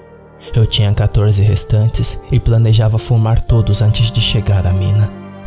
Eu não quis dizer aquelas coisas. Eu pulei um pouco e Kimber riu baixinho. Oh, eu não sabia que você estava acordada. Quem conseguiria dormir? Ela gemeu. Belo ponto. Droga. Kimber se sentou e tirou 10 quilos de roupas dela. Anotei a hora e liguei o carro. Eu não quis dizer aquilo, sabe? Sobre desejar que tivesse sido você ao invés de Kylie. Não se preocupe com isso. Eu disse, me mexendo desconfortavelmente no meu banco. Eu desejaria a mesma coisa no seu lugar. Não, Sam. Kimber me agarrou pelos lados da minha cabeça e me puxou para perto dela, onde descansou sua testa contra a minha. Não há ninguém que eu preferisse ter ao meu lado amanhã. Eu sei que você não me quer lá, mas eu vou estar com você até o fim. Com Kimber me segurando do jeito que ela estava, não havia como esconder meus olhos úmidos. Eu puxei minha cabeça para trás e limpei meu rosto com uma manga de flanela surrada. As emoções são muito mais avassaladoras quando você as sente todas de uma vez. Sem responder a ela, abri a porta e saí para o ar penetrante da montanha. Fechei a porta, encostei-me nela e enfiei a mão no bolso com a mão trêmula. Eu tinha deixado minha parca no carro na pressa de sair, mas não voltaria agora. Meu novo mantra ecoou em minha mente novamente. Apenas uma bala. Ouvi a porta do passageiro se abrir e me virei a tempo de pegar o casaco que Kimber havia jogado para mim. Seu idiota, ela disse. Volte para o carro, está congelando. Você acha? Ela disse sarcasticamente. Dei uma longa tragada no cigarro e senti a nicotina começar a fazer sua mágica. Eu precisava ficar calmo. Uma bala, Kimber. Eu puxei meu cabelo em volta dos ombros. E um colete à prova de balas, ela adicionou. Sim. Bem, na verdade, só é resistente a balas dependendo de como você leva o tiro. Nada é realmente à prova de balas, estou certo? Eu dei a ela um olhar gelado. Bem, eu não sabia disso, mas obrigado. Desculpe, ela disse com seus dentes batendo. Está tudo bem, não importa. Eles provavelmente vão atirar na minha cabeça de qualquer maneira. Você está pronto? Porque está muito frio aqui. Você não quer dormir um pouco? Eu vou dormir bastante em breve, eu pensei morbidamente. Na verdade, não. Joguei fora meu cigarro e segui seu brilho de ambar até que ele assentou na neve fresca e ainda caindo. Voltamos para o carro e verifiquei a hora. Mais quatro minutos e eu teria que desligar o motor novamente. Eu sei que você acha que eu deveria ficar. Então me diga, o que eu faria depois que você fosse embora? Kimber perguntou enquanto colocava as duas mãos sobre as saídas de ar. Espere até ouvir os tiros. Assim que o fizer, deu fora desta montanha. Se você não souber nada até às seis da manhã, saia mesmo assim. Largue o carro a cerca de 5 km e saia. Não siga a estrada, continue indo ladeira abaixo. Ligue para a CIF assim que receber o sinal. Kimber concordou. Interessante. E como vou saber o que aconteceu com você? Eu entrarei em contato com você. Ou não. Nós dois sabíamos que provavelmente seria a última opção. As chances de conseguir com apenas um tiro, especialmente um que meu pai esperava, eram inferiores a 1%. Mas eu sabia que eles não nos deixariam sair da montanha até que um de nós estivesse morto. Eu só esperava que fosse o xerife. Verifiquei a hora novamente e desliguei o carro. Quanto tempo demora até chegarmos em Borrasca? Ela perguntou. Duas horas de caminhada. Ah. Kimber se enterrou sob metade das roupas e jogou a outra metade em cima de mim. Você sabe que eu poderia simplesmente seguir você, certo? Eu sei. Eu já podia ver minha respiração e o carro só estava desligado há 10 segundos. E a menos que você me diga um plano aceitável, a menos que eu realmente acredite que você possa sobreviver a isso sem mim, eu irei segui-lo. Você não pode. Kimber, preciso parar de ser um merdinha egoísta e sacrificar algo pelo menos uma vez na vida. Você já perdeu muito. Mas eu preciso fazer isso, Sam. Eu não vou assistir você morrer. Eu não vou deixar isso acontecer. Você não acha que está sendo egoísta agora? Minha morte não é para você decidir. Eu cheguei até aqui e estou me preparando para isso há muito tempo. Você não pode ir sem mim. Deixe-me fazer isso por você, Kimber. Meus monstros estão mortos. Eu os matei. Eu estou limpo. Posso fazer isso. Vou descobrir a verdade sobre Kyle e onde ele está e depois te ligo. Sei que Borasca tem sinal porque Emily ligou para o xerife de lá. Talvez ele pegue com você. Talvez sua guarda esteja baixa já que você é filho dele. Você é o único que ele tem. E tudo. Eu não a corrigi. Eu duvido. Queimamos todas as fotos de sua filha e acertamos sua esposa com a pistola. Valeu a pena, disse Kimber. Ah, mas o que você quer dizer sobre com as fotos de Whitney? Confie em mim. É melhor você não saber. Kimber suspirou. Uma bala. Uma bala e um colete. Precisamos de um plano muito bom. Sim, precisamos, eu disse. E eu preciso fazer parte disso. Porra, não, Kimber. Eu não vou desistir disso. Nem eu. Olha, eu suspirei. Se eu puder pensar em algo que me dê uma chance razoável de não morrer, você concorda em ajudar de longe? Estou ouvindo agora, mas você deve esperar que eu argumente. Confie em mim, eu espero. E foi o que fizemos. Discuti até altas horas da manhã. Antes que eu estivesse pronto, o relógio já marcava três da manhã. Desliguei o carro e peguei tudo o que pude para gastar a caminhada até Borrasca sobre minha forma adormecida de Kimber. O frio iria acordá-la em breve. Me preparei com tudo o que precisava. Fechei a porta silenciosamente atrás de mim e parti sozinho em direção à borrasca. Há muito em quem pensar quando você está caminhando em direção à morte, mas em vez da besteira existencial, eu esperava que minha mente vagasse dentro e fora do passado. Eu me deleitei com memórias que fui incapaz de evocar por uma década, da minha família e meus amigos de infância. Não era algo que eu queria esquecer novamente. Encontrar a mina não foi tão difícil. Simplesmente segui a estrada que havíamos virado no dia anterior. Tive que me desviar da trilha algumas vezes, mas conhecia bem o mapa agora. Relembrar os detalhes era muito mais fácil. Ainda assim, por mais que odiasse admitir, não queria morrer sóbrio. Eu me perguntei o quanto disso doeria. Se ele atirasse na minha cabeça, seria rápido, pelo menos era algo pela qual esperar. Eu estava usando seis camadas de roupas, mas congelando até o âmago quando o sol se transformou o céu em cinza escuro. Os cigarros tinham acabado e eu estava ansioso na última hora.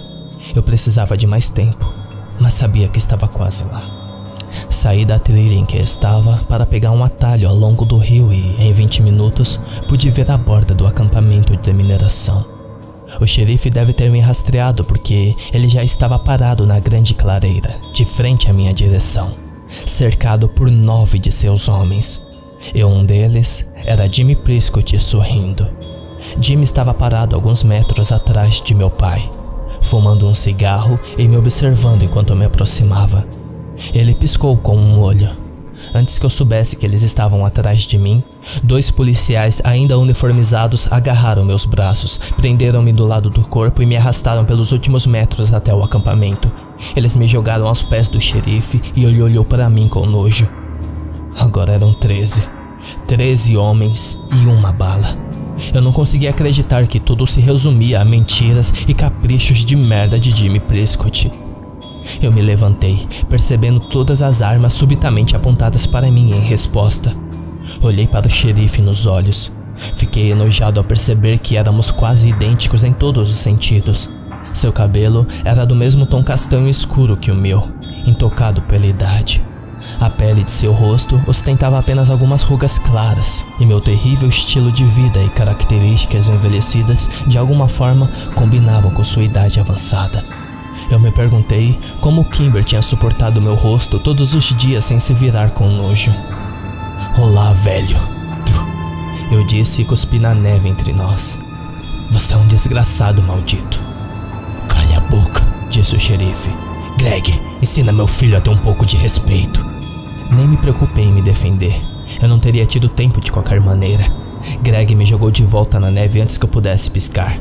Seu punho acertou minha bochecha sobre meu olho esquerdo e eu não tive pressa em me levantar da neve fria e entorpecente que agora estava pressionada contra meu rosto. Foi nesse momento que eu senti borrasca à minha volta. Era tão ensurdecedor quanto da última vez. Eu podia sentir isso no ar. O medo, o sofrimento e a dor. Eu quase podia ouvi-los sussurrando através das paredes como eles tinham feito dez anos antes. Ajude-me, ajude-me, por favor. Me ajude ou me mate. Não nos deixem aqui. O prédio atrás do xerife era certamente o dormitório. Era maior do que o outro, mas irradiava a mesma aura de agonia que a morte. Agora escute, Samuel. Todo seu mistério acaba hoje. Parece que você realmente acredita que uma mulher e um viciado em drogas pode desmantelar sozinho um negócio desse tamanho. Então, você deve ser um idiota. Isso me faz sentir pena de você. Então por que você simplesmente não entrega a arma e volta para o gueto da onde saiu? Eu me coloquei de joelhos. Não. Não. Você é um louco de merda, filho. Você invadiu minha casa, destruiu a foto das minhas filhas e espancou minha esposa. Você tem sorte de ainda estar vivo. Eu matei crianças por muito menos, Samuel. E olhando para ele agora, eu não duvidei. Você precisa morrer. Bem, então vai lá. Por favor, atire em mim. O xerife estendeu os braços zombando.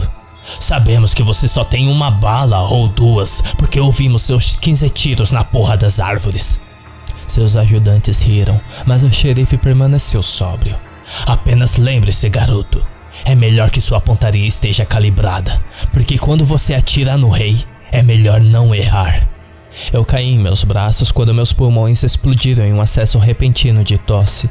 Mesmo se eu pudesse escapar depois que o xerife estivesse morto, meus pulmões não aguentariam. Eu estava fudido. Eu sabia disso. O xerife sabia disso. E seus homens também sabiam. Embora a arma do xerife não estivesse saído de seu coldre, todos, exceto Jimmy Prescott, tinham as armas apontadas para meu peito ou minha cabeça. Se eu enfiasse a mão na minha jaqueta, levaria um tiro.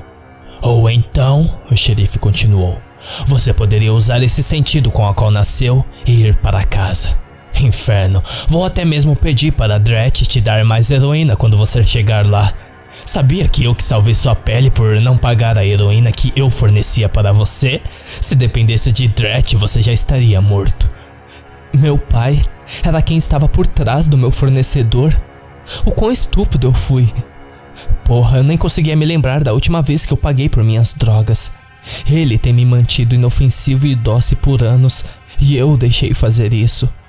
Quem diabos era essa pessoa que eu mais amei na minha vida? Não, eu tenho perguntas que você tem que responder. Eu disse a ele através das queimações na minha garganta. Agora é aí que você está errado, Sammy. Eu não tenho que fazer nada. Nunca. Por que você machucou Whitney? O xerife puxou a arma do coldre e puxou os braços na frente dele apontando para o chão. A única coisa que eu fiz para Whitney foi vingar a morte dela. Não, você a estuprou. O xerife deu um passo à frente e acertou meu rosto com tanta força com sua pistola que eu senti os ossos se partindo em meu nariz. Eu caí de volta na neve e antes que minha visão clareasse, ele quebrou uma das minhas costelas com a ponta da bota. Fiquei deitado, enrolado de lado por alguns segundos enquanto a dor irradiava do meu peito e minha coluna se espalhava por todos os nervos do meu corpo. Eu realmente gostaria de ter um pouco de heroína. Se eu estivesse chapado o suficiente, a morte parecia uma gloriosa nota de rodapé. Quando a dor estava beirando o controle, rolei e me levantei em minhas mãos de jo... Quando a dor estava beirando o controle, rolei e me levantei em minhas mãos e joelhos, cuspindo sangue na neve. Eu levantei minha cabeça para olhar para meu pai. Ele ainda estava de pé acima de mim, o punho cerrado na coronha de sua arma e uma raiva vermelha que se espalhou por seu rosto. Esse assunto machuca você? Eu tossi. Nunca mais diga nada tão sujo sobre sua irmã, ou vou enfiar minha própria arma abaixo do seu colete balístico e atirar em você na porra do seu estômago. Eu precisava dele com raiva, mas não com raiva o suficiente para me matar. Ainda não. E o que aconteceu com minha mãe? Eu fiz uma careta. O xerife deu um passo para trás e sorriu. Sua compostura recuperou. Ela foi uma mulher e tanto, mas lamento por sua morte em um acidente estranho há alguns anos. Eu não acredito em você, eu disse e sentei de joelhos, lutando para respirar. Respirações lentas. Eu não dou a mínima se você acredita em mim. Esta conversa está ficando chata. Você teve sua chance de ir embora. Em vez disso, decidiu dizer coisas nojentas sobre sua irmã. Você está falando de coisas sobre as quais não sabe nada. Eu amava Whitney. Você é a porra de um monstro. É assim que você fala de seu pai? Sabe, acho que Greg precisa te ensinar um pouco de mais respeito. Foda-se você, eu sei o que você fez com Kimber. Ah, é, e você preferia que fosse alguém que ela não conhecesse? Alguém que a enojou como aquele filho da puta geriátrico do Clary? Ou o Prescott aqui? Ele apontou o polegar de volta para Jimmy. Eu preferia que não fosse ninguém! Eu gritei com ele, cuspindo sangrento voando entre o espaço e caindo em sua jaqueta.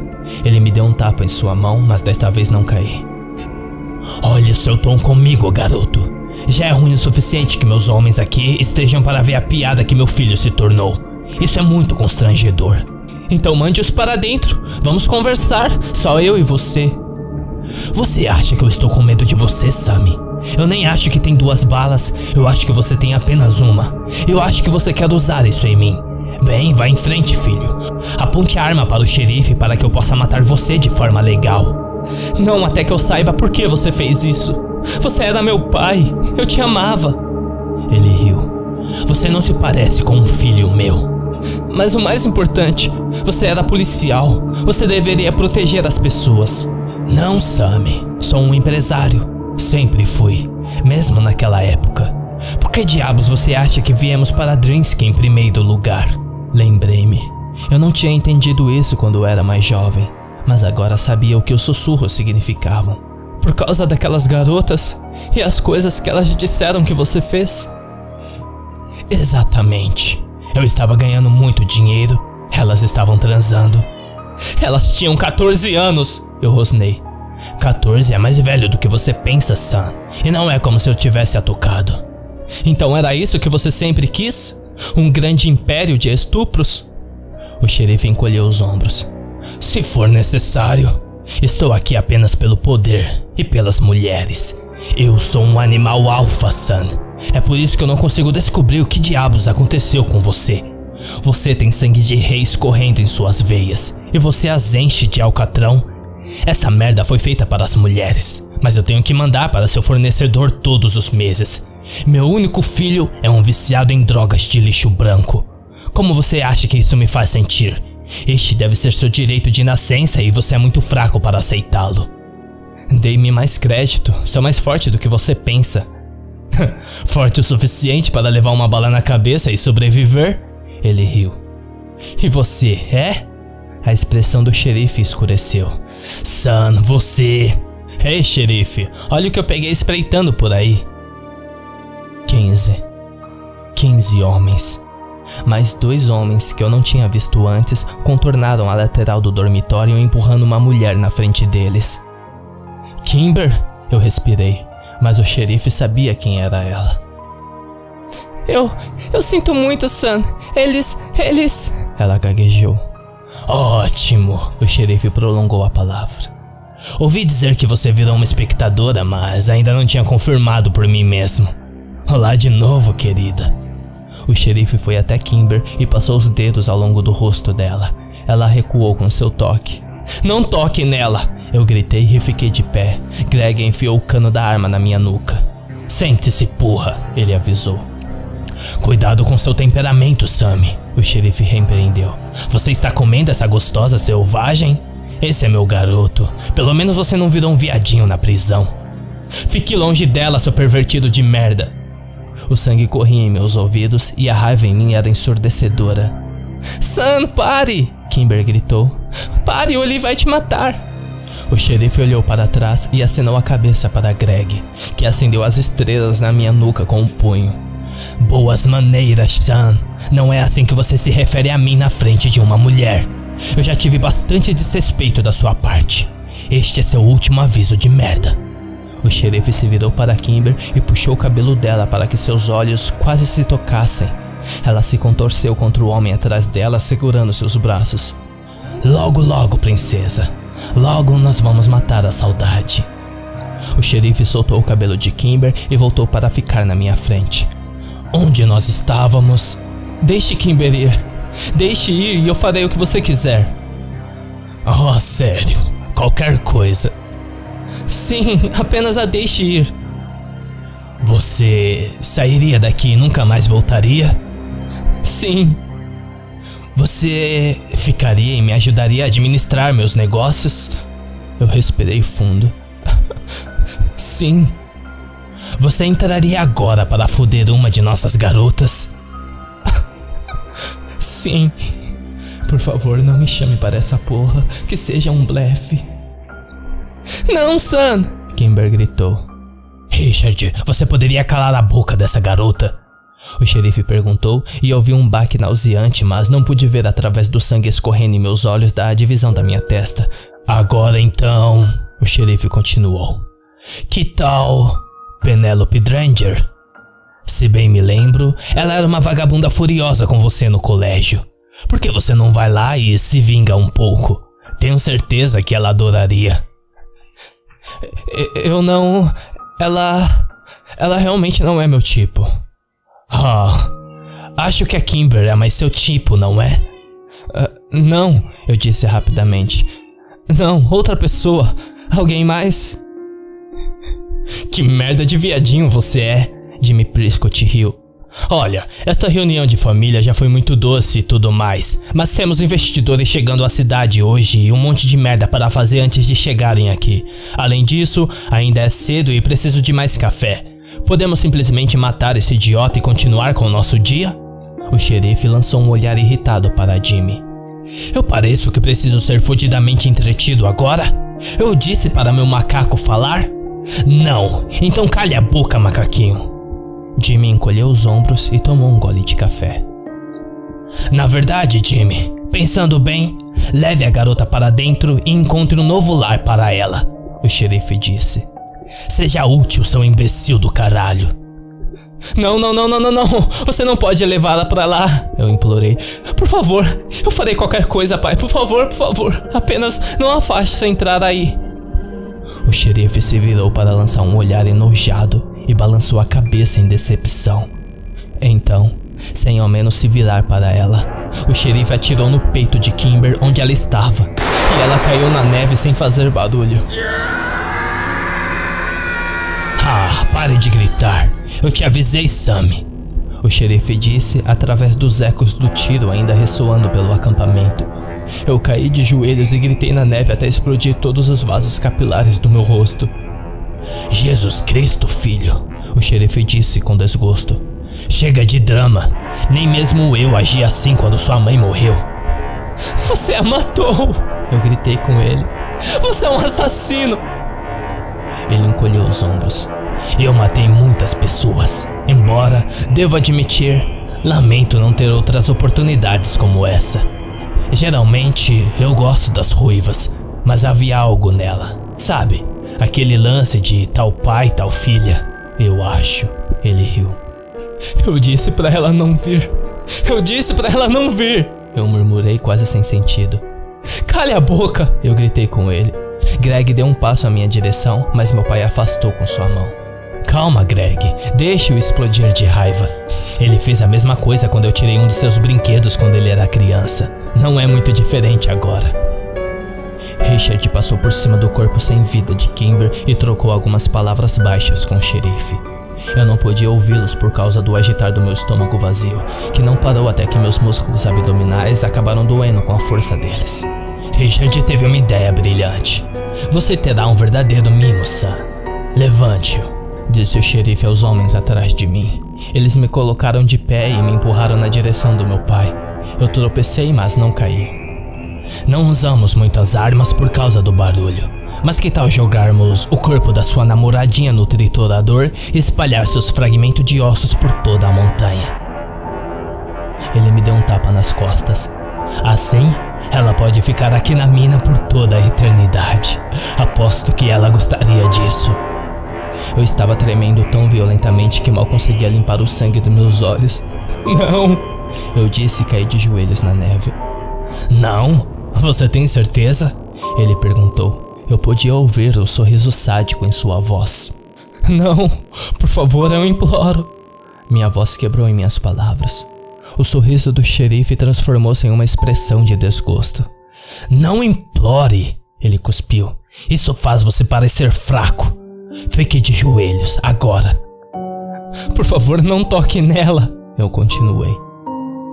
Você sabe qual é o seu problema, Sam? Você não é homem o suficiente para tomar o que quiser.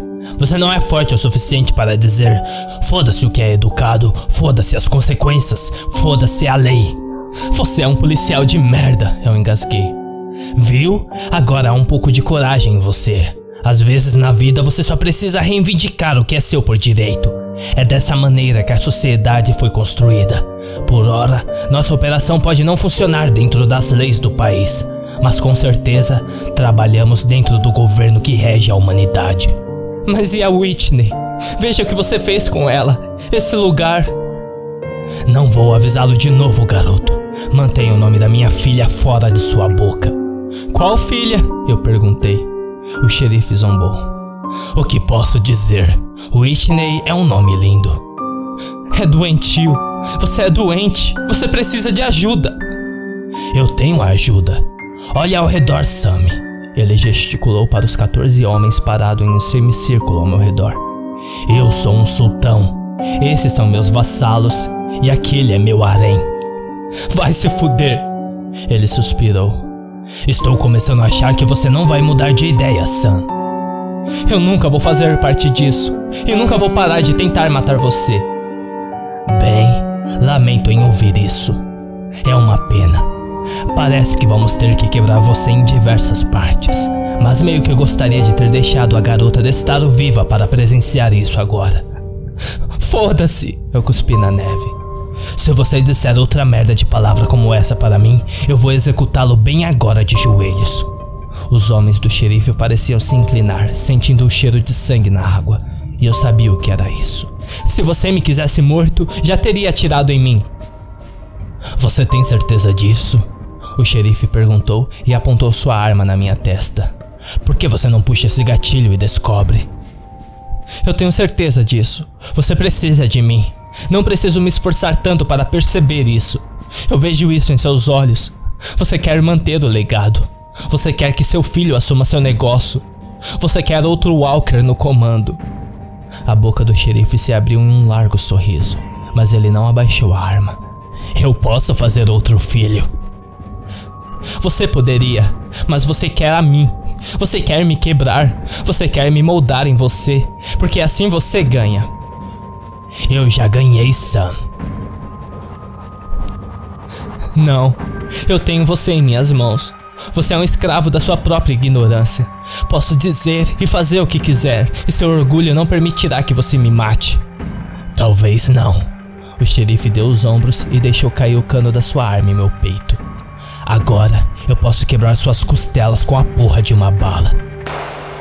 Eu ouvi o tiro mas nem senti entrar em meu corpo. Eu instintivamente coloquei a mão sobre o buraco no meu peito. Eu não precisava sentir para saber que ela estava lá. O som estava pulsando dentro e fora dos meus ouvidos no mesmo ritmo do meu batimento cardíaco enganosamente calmo. Mas através das ondas do som e silêncio, eu podia ouvir todos eles rindo. Dói pra caralho, não é? O xerife riu. Um tiro em um colete dói muito mais do que um chute de uma bota de bico de aço. Mas claro, suas costelas já estavam quebradas, então isso deve doer muito mais. Eu sabia que estava entrando em choque. Tirei minhas mãos da jaqueta e vi que elas estavam cobertas de sangue espesso e quente. Todas as risadas cessaram imediatamente e o xerife deu um passo em minha direção. Como que a bala entrou? Ele perguntou. Eu não estou com o colete e nem com a arma, eu respondi. No momento em que ele olhou para ela, Kimber já estava de pé onde eles tinham deixado descartada na neve. Ela estava olhando para o xerife na mira da bereta, e antes que alguém pudesse reagir, Kimber apertou o gatilho e matou seu monstro. A bala atravessou o olho do xerife e saiu pela parte de trás de sua cabeça, onde se enterrou na madeira do prédio atrás dele. Antes mesmo de seu corpo atingir o solo, as armas foram sacadas de todos os lados e os homens leais ao dinheiro assumiram o controle dos homens leais ao medo. Jimmy Prescott havia de alguma forma vencido. Puta merda, garoto! Vocês conseguiram! Prescott disse, tomando um gole de café e pisando no corpo ao lado do meu pai. Quero dizer, acho que esse ferimento é provavelmente fatal, mas, você sabe, não deixe que isso prejudique seu feito. Inferno, vou até nomear uma ala em sua homenagem. Ele gesticulou para o dormitório atrás dele. Pare de apontar para ela, eu exigi. Eu sabia que não tinha muito tempo para comemorar. Ortiz, que porra é essa? Jimmy disse. Parem de apontar essa merda para a grande heroína do dia. O homem mais próximo de Kimber abaixou a arma. Ela se dobrou então claramente com bastante dor. Ossos quebrados, Jimmy assinou com a cabeça, lendo o pensamento em meu rosto. Seu pai atirou nela com uma .357 que, bom, você sabe, ele atirou em você também. É uma bala muito grande. Ela realmente pode estar sangrando, mas ela vai ficar bem. Você, por outro lado, eu me esforcei contra a escuridão. Eu precisava viver. Eu precisava dizer a Jimmy: O que é isso? Aí sim, minha pólice de seguro para garantir que Kimber deixasse esse lugar com vida. Então, você falou toda aquela merda e nem mesmo estava armado? Você não tinha nada para se garantir? Tem certeza que não quer vir trabalhar comigo? Tenho, eu tossi. Eu tinha algo comigo. Ah, é? E o que é? Isto. Eu saquei um pequeno controle remoto e joguei na neve na minha frente. Jimmy riu. que porra é essa? Ele disse. É um controle remoto. Para as câmeras de vídeo. Do que diabos você está falando, garoto? Quais câmeras de vídeo? Pela primeira vez desde que conheci, Jimmy parecia abalado. Aquelas câmeras de vídeo. Apontei para as árvores onde uma dúzia de pequenas câmeras se misturavam aos galhos escuros suas luzes vermelhas piscando quase invisíveis. Eu preciso parar o sangramento, eu ofeguei. Você está brincando comigo, seu merda? É melhor que esteja brincando, porque vou colocar uma bala na sua cabeça, coisa que seu pai não fez. Ele ergueu a arma na minha cara, mas parecia em conflito. Se ele acreditasse em mim sobre as câmeras, eu sabia que ele não poderia atirar em mim. Tudo se resumia à minha capacidade de mentir. Vou apenas derrubar essas câmeras e quebrá-las como se elas nunca estivessem lá. Ele disse e engatilhou a arma que estava segurando fixamente sobre minha cara. Elas estão em um feed ao vivo, idiota, eu disse. O rosto de Jim se contraiu algumas vezes antes que ele perdesse o controle e jogasse sua xícara de café no prédio atrás dele. Droga! Jimmy gritou. Foda-se! Foda-se tudo isso! Greg disse e finalmente largou a arma que estava usando para manter um dos homens do meu pai como refém. Eles se espalharam como baratas por todos os lados do acampamento, ligando seus caminhões e descendo a montanha em alta velocidade. Jimmy falava ao telefone com alguém enquanto procurava chaves no bolso. Apague tudo, tire da intranet da escola e longe de vista do Departamento de Segurança Nacional. E certifique-se de que tudo isso seja perdido para sempre. Ele fez uma pausa. Eu não dou a mínima onde você está. Precisamos pôr um fim nisso agora. Volte para a escola e apague tudo como se nada tivesse existido. Não, foda-se a porra dos backups. Exclua tudo. Jimmy jogou seu telefone no chão e disparou quatro vezes com sua arma. Ele correu para o baú próximo e abriu a porta do carro. Prescott! Eu gritei roucamente. Jimmy fez uma pausa antes de bater a porta e olhar para mim. Kylie! Kylie Land! Tudo aquilo foi uma brincadeira de mau gosto? O olhar de Jimmy se contorceu em um sorriso amargo. Onde ele está? Onde está Kylie? Eu perguntei novamente. Seus filhos da puta, vocês vão acreditar em qualquer coisa para acreditar que seu amigo ainda está vivo? Ele zombou antes de bater a porta do carro e disparar montanha abaixo. Com a última energia gasta, caí para frente na neve de costa para o corpo do xerife. Eu podia ver uma confusão dos cachos ruivos de Kimber por cima do meu braço, mas ela estava tão distante. Kimber! Eu engasguei com um monte de sangue na minha boca, mas ela não se mexeu. Com minha força se esgotando, com a areia de uma ampulheta, puxei meu telefone da minha jaqueta e disquei o número de Sid. Ele atendeu no primeiro toque. Fale. Ah, funcionou. Ela está viva. Eu estou vivo por enquanto. Os arquivos estão na escola. Aqueles filhos da puta doente hospedam todos os registros de Borrasca no servidor da escola, Drinskin High. Drinskin High, entendi. Uh, você consegue invadir? Estou trabalhando nisso. Esse banco de dados está bloqueado com segurança máxima, mas como eu disse outro dia, eu sou muito bom no que faço. Eu não sei como eles nomearam o nome do arquivo.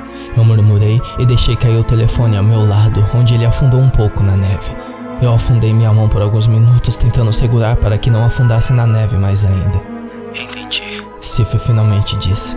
Eu apenas procurei a merda com mais segurança possível no servidor. Parece que já notaram minha presença na rede. Cara, estou tomando muito cuidado, mas eles definitivamente sabem que eu estou aqui. Eu me senti me afastando do meu corpo. Merda, eu não posso acreditar que eles mantiveram isso no servidor da nossa própria escola. Que filhas da puta de merda. Eu mal conseguia ouvir Sif. Ei, cara, você está bem? Cara, Sam, Sam. E então, o silêncio. Algumas horas antes, o relógio marcava uma hora e trinta e duas da madrugada. Liguei o carro novamente. Kimber murmurou sua aprovação e colocou o rosto ao lado do aquecedor. Ela gentilmente bateu a testa contra o painel. Não chegaremos a lugar nenhum, ela disse. E ela estava certa. Estávamos discutindo por horas algum plano e não concordamos em nada ainda. A missão era suicídio, não importava o que acontecesse, estávamos apenas discutindo quantos de nós deveriam morrer e em qual ordem. Eles vão te matar se virem você lá. Ponto final. Esses caras não têm razão para te deixar viver, eu disse. Sim, eu não duvido disso. Mas como você vai atirar em alguém quando você só tem uma bala e eles sabem que você está vindo de qualquer maneira? É, e eles sabem sobre o colete à prova de balas. Eu adicionei. E eles sabem sobre o colete à prova de balas, ela repetiu, tornando-o absolutamente inútil. Sim. Eu inclinei minha cabeça contra o encosto e fechei os olhos. Eu só queria dormir. Precisamos de mais tempo, pelo menos outro dia. Se não formos até eles pela manhã, eles virão até nós, eu murmurei. E nos matarão de qualquer maneira. Certo, estamos mortos em todos os cenários possíveis. Hum. Kimber de repente se sentou. A menos que. Virei minha cabeça para olhar para ela por um olho. A menos que o quê? A menos que façamos algo estúpido. Ah, Kimber, esse navio já zarpou. Não, escute, estou falando sério. Você veste o colete e me dá a arma. Dividir o colete e a arma? Sim, eles não esperam isso. Sim, porque é estúpido para caralho. Assim que um de nós puxar a arma, eles vão atirar. Então, se esse é seu plano, prefiro que você use o colete. Não, isso é. Isso é. Ela ficou em silêncio por um momento. Bem, na verdade isso é muito brilhante. Ela terminou. Eu dei a ela um olhar duvidoso. O que você está pensando? Ouça, eu vou levar um tiro de qualquer maneira, e isso realmente nos coloca em vantagem. Deixe ele atirar em mim. E então, quando eles se esquecerem de mim e não estiverem mais prestando atenção em mim, eu vou atirar nele. Bom, você está apostando no fato de que eles não nos revistarão quando chegarmos em Borrasca. Sim. E que eles não vão atirar na sua cabeça. Concordo. E também de que eles vão atirar em você. Quero dizer, eles poderiam apenas, você sabe, mantê-la lá. É um risco. E finalmente, que Jimmy estará lá para assumir o controle da situação como prometeu. Kimber concordou. Ok, Todos os riscos são aceitáveis, ela sorriu. Você está chapada, Kimber? Eu não estou. E você está? Porque para que isso funcione, eu vou precisar de que você dê um jeito nisso. Bem que eu gostaria, eu zombei. Kimber ergueu uma sobrancelha. Aquele pacote não continha drogas. Você sabe, eu disse. O quê? Desculpe, mas não pude te dizer na hora. Você teria percebido que eu iria sem você. Você é um idiota, Sam Walker. Então o que tinha naquele pacote? Eu dei os ombros. Era um pacote de cuidados de Sid. Ele me enviou câmeras de vídeo. Por quê? Para quê? Lembra-se daquela noite que desapareci com um carro por várias horas? Os olhos de Kimber se estreitaram. Sim. Usei as coordenadas que Jimmy Prescott me deu para encontrar Borrasca 2. Por favor, não chame assim. Além disso, por favor, me diga que você está brincando. Desculpe, mas não estou. Não pude ver muito ou ouvir nada, mas estava lá. Eu conheço o caminho agora. É a razão pela qual estamos estacionados nessa estrada agora. Não acredito que você foi para a Borrasca. Eu nem posso acreditar em você, Sam. Isso é loucura. Sim, eu percebi isso, mas já era tarde demais. E a coisa toda levou mais tempo do que deveria porque eu tive que ser furtivo. O que não sei se você notou, mas não sou uma pessoa muito graciosa. Eu tive que escalar a porra das árvores para fazer o velcro dessa merda abaixo. Ah, e eu tinha que encontrar o lugar de qualquer maneira. Então, puta merda, vamos ter filmagem real da mina. É brilhante. Não exatamente. Elas são câmeras fictícias que significa? Elas não são reais? Sim, elas são vendidas como reais. São impedimentos. Mas então, por que você arriscaria por isso? Por que se preocupar em colocar câmeras de prevenção? Para, você sabe, impedir qualquer um de me matar. Ah, droga, eu realmente queria que elas fossem reais. Sim, eu também. Mas de jeito nenhum eu conseguiria instalar e configurar algo assim. Porra, se tivéssemos um filme, nem precisaríamos dos arquivos de Borrasca. Sif acha que se descobrirmos onde os arquivos estão, ele pode invadir e baixá-los. Kimber suspirou. Se descobrirmos, tem tantos Cs. Então, você realmente quer levar um tiro, hein? Acho que é o melhor plano que temos. Talvez eu apenas tropece no acampamento logo depois de você. Você sabe, ser pega de propósito. Dessa forma, eles vão presumir que você está com a arma e eu estava apenas sendo descuidada. Sam? Sam? Ela estava me sacudindo. Eu tinha adormecido. Sam, acorde. Acorde. Boa tarde, Sam Walker. Lamento acordá-lo, mas os detetives estão pedindo para entrevistá-lo desde ontem. Receio que sejam muito insistentes. Tentei me concentrar na mulher parada ao meu lado. Tudo estava muito. branco. Ah, onde eu estou? Hospital de Drinsky. Eu sou a doutora Clava, e já que você vai falar com dois dos homens mais rudes que já conheci, vou aumentar um pouco da sua morfina. Pisquei algumas vezes contra as luzes brilhantes que ardiam em meus olhos. Não, não. Sem morfina, por favor. Pode cortar isso. Você tem certeza? Você vai sentir muita dor se eu fizer isso. Ela disse enquanto caminhava até o soro. Ah, sim. Desligue-o. Onde está Kimber? Onde ela está? Além disso, ah, como eu não estou morto? Eu não sou o médico de Kimber, então não tenho certeza de quem você está falando. Quanto à sua sobrevivência, Você deve isso a um cirurgião bastante habilidoso da equipe daqui. Eu já podia sentir a dor irradiando no meu peito abaixo do meu coração. Existe alguma maneira de você deixar mais escuro aqui? Com certeza, ela respondeu enquanto caminhava até a porta e apagava as luzes. Boa sorte. Uma enfermeira virá mais tarde para verificar você. Eu não reconheci os dois homens que empurraram a doutora Clava na porta. Eles eram homens de aparência séria com um ar seco e imediatismo sobre eles. Sam Walker, meu nome é Agente Grant e essa é a Agente Especial Tripney. Nós somos da investigação federal. Como você está se sentindo? Estou bem. Minha voz parecia tensa e tentei me sentar. Quando ficou claro que eu não conseguiria, o agente Grant agarrou meu braço para me firmar e apontou para o controle remoto na beira da cama. Eu segurei o botão elevar até que a cama me colocou no nível dos dois. Estamos aqui porque você foi encontrado inconscientemente e quase morto na cena de um crime, junto com uma mulher de 27 anos e o cadáver do xerife do condado. Grant continuou. Parece certo. Eu disse e esfreguei meu rosto. Eu estremeci quando escovei o nariz. Eles haviam consertado os ossos, mas ainda estava muito sensível. Eu nem queria ver meu peito. Você pode comentar sobre os eventos que o levaram a esse local? O agente Grant perguntou. Trepine permaneceu em silêncio. Ah, claro, eu adoraria. Claro, eu adoraria. Mas primeiro eu realmente preciso saber onde Kimber está. Ela está sob custódia federal, dando sua própria declaração. E o que aconteceu com todas as mulheres lá? Lá na mina? As pessoas foram presas lá? As vítimas foram retiradas do local. E por que vocês só estão falando comigo agora? Tentei entrar em contato com os federais durante anos sobre Borrasca. Esse é o nome local para o grupo de tráfico? Ah, quase.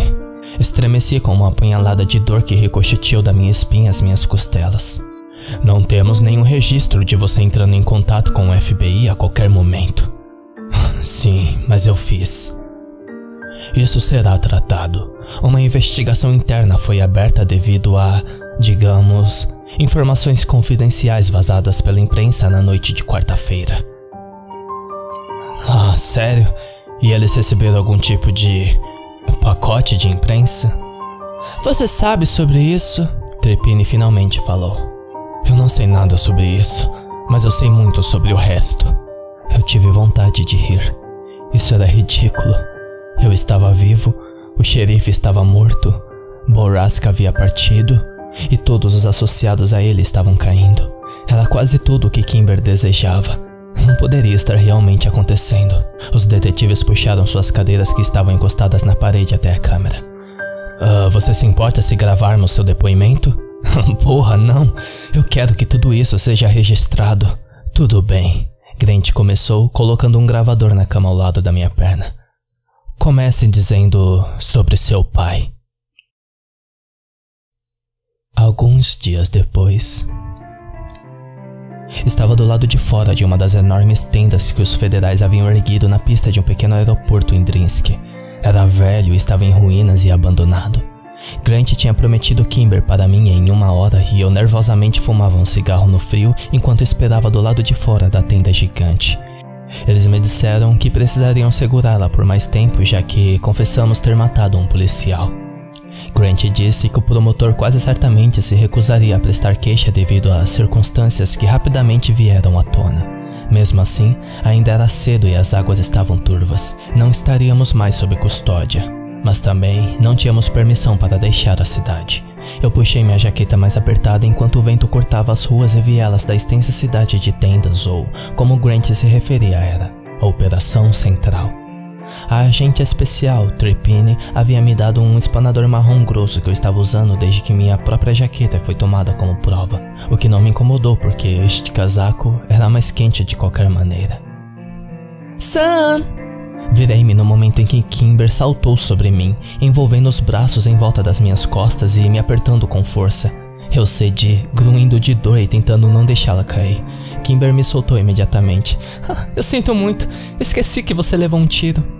Bom, com certeza você me lembrou. Estremeci. Trepine saiu de trás de Kimber e acenou para mim. Vocês já podem ir. Há um Ford Explorer que vocês podem usar que está no estacionamento de Draper na frente da unidade do comando móvel. Aqui estão as chaves. Não saia da cidade e não fale com a mídia. Ou com os locais. Na verdade, não falem com ninguém sobre isso. Encontramos o carro exatamente onde ela disse e entramos, batendo as portas com vento cortante. Você vai ter que dirigir, eu disse. Eu não acho que consigo fazer isso. Eles não deram nenhum analgésico para você? Kimber perguntou. Me prescreveram um Tilenol. Oh meu Deus, eu quero chorar por você. Mas ainda assim, bom para você, Sam. Ela sorriu para mim e saiu para a estrada. Honestamente, não posso acreditar que eles deram alta a você do hospital depois de alguns dias. Você levou um tiro quase no peito. Eu estou bem ciente disso. Eu ri. Todos os hospitais estão cheios. Todos os hospitais num raio de 80 quilômetros e um móvel para os casos menos graves. Foi o que me disseram. Puta merda, Kimber respirou. Quantas mulheres haviam em Borrasca? Você não sabe? Eu perguntei. Não, eles não me disseram nada. Eles até tiraram a TV do quarto de hotel em que me prenderam. 132 vítimas. Kimber engasgou. Essa foi minha reação também. Mas nunca houve tantos, nem quando eu estava lá. Talvez 60 no máximo. Acho que Jimmy não estava mentindo afinal. O xerife passou dos limites e era um homem de negócios. Eu disse sarcasticamente. Ah, vire aqui, Kimber. ênfase no era. Kimber sorriu. Eu não poderia culpá-la por estar feliz por ele estar morto, e, embora fosse meu pai, eu também estava. Eles não te contaram nada, hein? A única coisa que eles me disseram é que você estava vivo e só porque eu comecei a jogar talheres neles. Eu ri. Bem, acho que vou ter que dar a notícia então. Todos os principais veículos de notícia receberam uma cópia dos registros de Borrasca na sexta-feira, e os arquivos eram aparentemente muito detalhados. Investigações abertas foram acionadas em todo o mapa. Isso, Kimber disse. E eles pegaram todo mundo que estava na folha de pagamento incluindo Jimmy Prescott. O quê? Eles o pegaram? Ela perguntou animadamente. Grant disse que ele não durou nem um dia. Que idiota! Ela riu. E eu realmente queria dizer a você: foi um belo tiro aquele que você deu naquele dia. eu já pratiquei aquele tiro mil vezes. Esta foi a primeira vez que meu alvo estava realmente vivo, no entanto. E, hey, parabéns por levar uma bala e sobreviver como um campeão. Agora vire à direita. Ah, e sim, quem diria que eu seria excelente em levar um tiro? Eu me pergunto que tipo de carreira eu poderia fazer com isso. Kimber encolheu os ombros. Testador de coletes? Ela estava diferente agora. Desapareceu a versão ansiosa e desanimada dela que eu vim conhecer nas últimas semanas. Esta era a Kimber que eu me lembrava dela antes de sua mãe morrer. Feliz, desembaraçada, esperançosa eu não conseguia acreditar que estava prestes a arrancar tudo dela, mas ela merecia saber. Pegue essa outra rua, bem aqui. Onde estamos indo? Ela perguntou finalmente. Você vai ver. O sorriso de Kimber vacilou. Não tenho certeza se gosto disso. No final desta rua, procuramos o número da casa 445. Ali, ela disse e parou em um lugar na frente de uma casa grande de estilo gótico. É mesmo esse lugar? Desanimador. O que há aí? É um lar coletivo. Uma casa coletiva? Ela riu. De quem? Eu não disse nada, mas a observei com atenção. Kimber ficou séria. Eu não. V você quer dizer. Suas mãos, que estavam enfiadas nas mangas, de repente cobriram a boca quando ela percebeu por que estávamos aqui. Kimber começou a balançar a cabeça. Mas Jimmy disse. Eu ouvi dizer. Bem, ao contrário das últimas palavras de Jimmy Prescott para mim, eu não acredito em tudo que ele disse. Eu respirei fundo. Os Land deixaram a cidade como quase todo mundo há dois dias. De acordo com Grant, eles não levaram seu filho mais velho com eles, apenas o pequeno Parker. Kimber continuou a olhar para a casa com as mãos na boca. Ela parecia prestes a chorar. E eu continuei. Grant ordenou que o zelador de Kylie parasse de dar-lhes os remédios diário até que pudesse falar com seu médico, que fugiu da cidade, como o resto de Drinsky. Então, Kyle está lá dentro? Kimber respirou. E, e ele está sem medicação? Por. por. por dias. O que significa que se ele foi sedado por todo esse tempo, como Jimmy disse, ele. Ele não pode mais ser o mesmo, Kimber. Kimber tossiu nas mãos, mas soou como um soluço reprimido. Eu coloquei o braço ao redor dela. Você está bem? Ela tirou as mãos da boca e sacudiu para soltar das mangas. Depois pegou a chave e desligou o carro. Eu estou bem. Estou pronta. Ótimo. Vamos pegar a porra do nosso garoto, eu disse. Tocamos a campainha da casa palaciana e uma jovem atendeu, parecendo exausta e irritada. Uh, oi, estamos aqui para ver Kylie Land, eu disse a ela. Kylie Land? Você por acaso é da família? Ela perguntou, afastando o cabelo ruivo despenteado de seu rosto. Sim, somos da família, Kimber disse. A mulher cruzou os braços e encostou-se no batente da porta. A família de Kylie não visitou nenhuma vez todos esses anos que ele esteve aqui. Você está na lista de visitas autorizadas dele? Eu duvido, eu ri ironicamente. Mas nós vamos entrar de qualquer maneira, Kimber acrescentou, imitando a postura desafiadora da mulher. Ela suspirou e baixou os braços. Bem, eu não me importo. Eu sou a única aqui. Todo mundo saiu da cidade por causa de todo esse escândalo. Ela se afastou e entramos no saguão. Ela se afastou e entramos no saguão. A mulher fechou a porta atrás de nós e apontou para a grande escadaria. Ele está em seu quarto, segunda porta à esquerda. Ah, e por favor, lembre-se de que ele não fala nada, então não espere que ele fale com vocês, ou se mova, ou faça qualquer coisa. Se quiserem trazê-lo para baixo, me avise que pegarei a chave do elevador. Certo, obrigada. Kimber disse para o ar atrás dela enquanto subíamos as escadas. Eu a segui atrás mais devagar, respirando fundo. Por favor, Kylie, por favor, por favor, que isso seja real. No momento em que cheguei ao topo da escada, Kimber estava parada na porta aberta do quarto de Kylie como se ela não pudesse suportar ir mais longe. Ela estava chorando baixinho em suas mãos, e quando ela se virou e me viu, ela começou a balançar a cabeça. Eu. Eu não posso. Eu simplesmente não posso, Sam. Eu me aproximei e dei um abraço em Kimber. Está bem, vai ficar tudo bem. Levei alguns minutos para me preparar mentalmente antes de finalmente me virar e olhar para a sala. Kylie estava em sua cadeira de rodas, de frente para a cama, e ele olhava fixamente para o carvalho rodopiante na parede à sua frente. Ele não reagiu às nossas vozes e não se mexeu. Eu não tinha certeza se ele estava piscando. Soltei Kimber e entrei lentamente no quarto. Sentei-me na beira da cama na frente de Kylie para estudá-lo. Seus ferimentos estavam todos curados, exceto o nariz que permaneceu fora do lugar e quebrado. Ele estava vestindo calças de flanela e uma camiseta branca indescritível e meias. Seu cabelo era comprido e uma barba ruiva cobria a metade inferior de seu rosto. Seus olhos estavam fixos por cima do meu ombro, preguiçosamente fixado na parede atrás de mim. Kylie eu disse enquanto me movia na linha de sua visão. É o Sam. Ele piscou. Os olhos de Kylie pareciam tentar se concentrar em mim, mas quando me mexi, eles não me seguiram. Eu podia ver que não havia ninguém por trás deles, mas não conseguia aceitar. Não depois de tudo que passamos. Kylie, por favor, me diga que você está aí. Eu implorei mas não havia nada para mostrar que ele havia entendido. Seus olhos ficaram vidrados e eu sabia que o que restava de Kylie era apenas a mais básica das funções cerebrais. Merda! Eu lamentei. Kimber estava soluçando abertamente. Pare! Ela sussurrou. Sam, pare! Eu trabalhei para me controlar.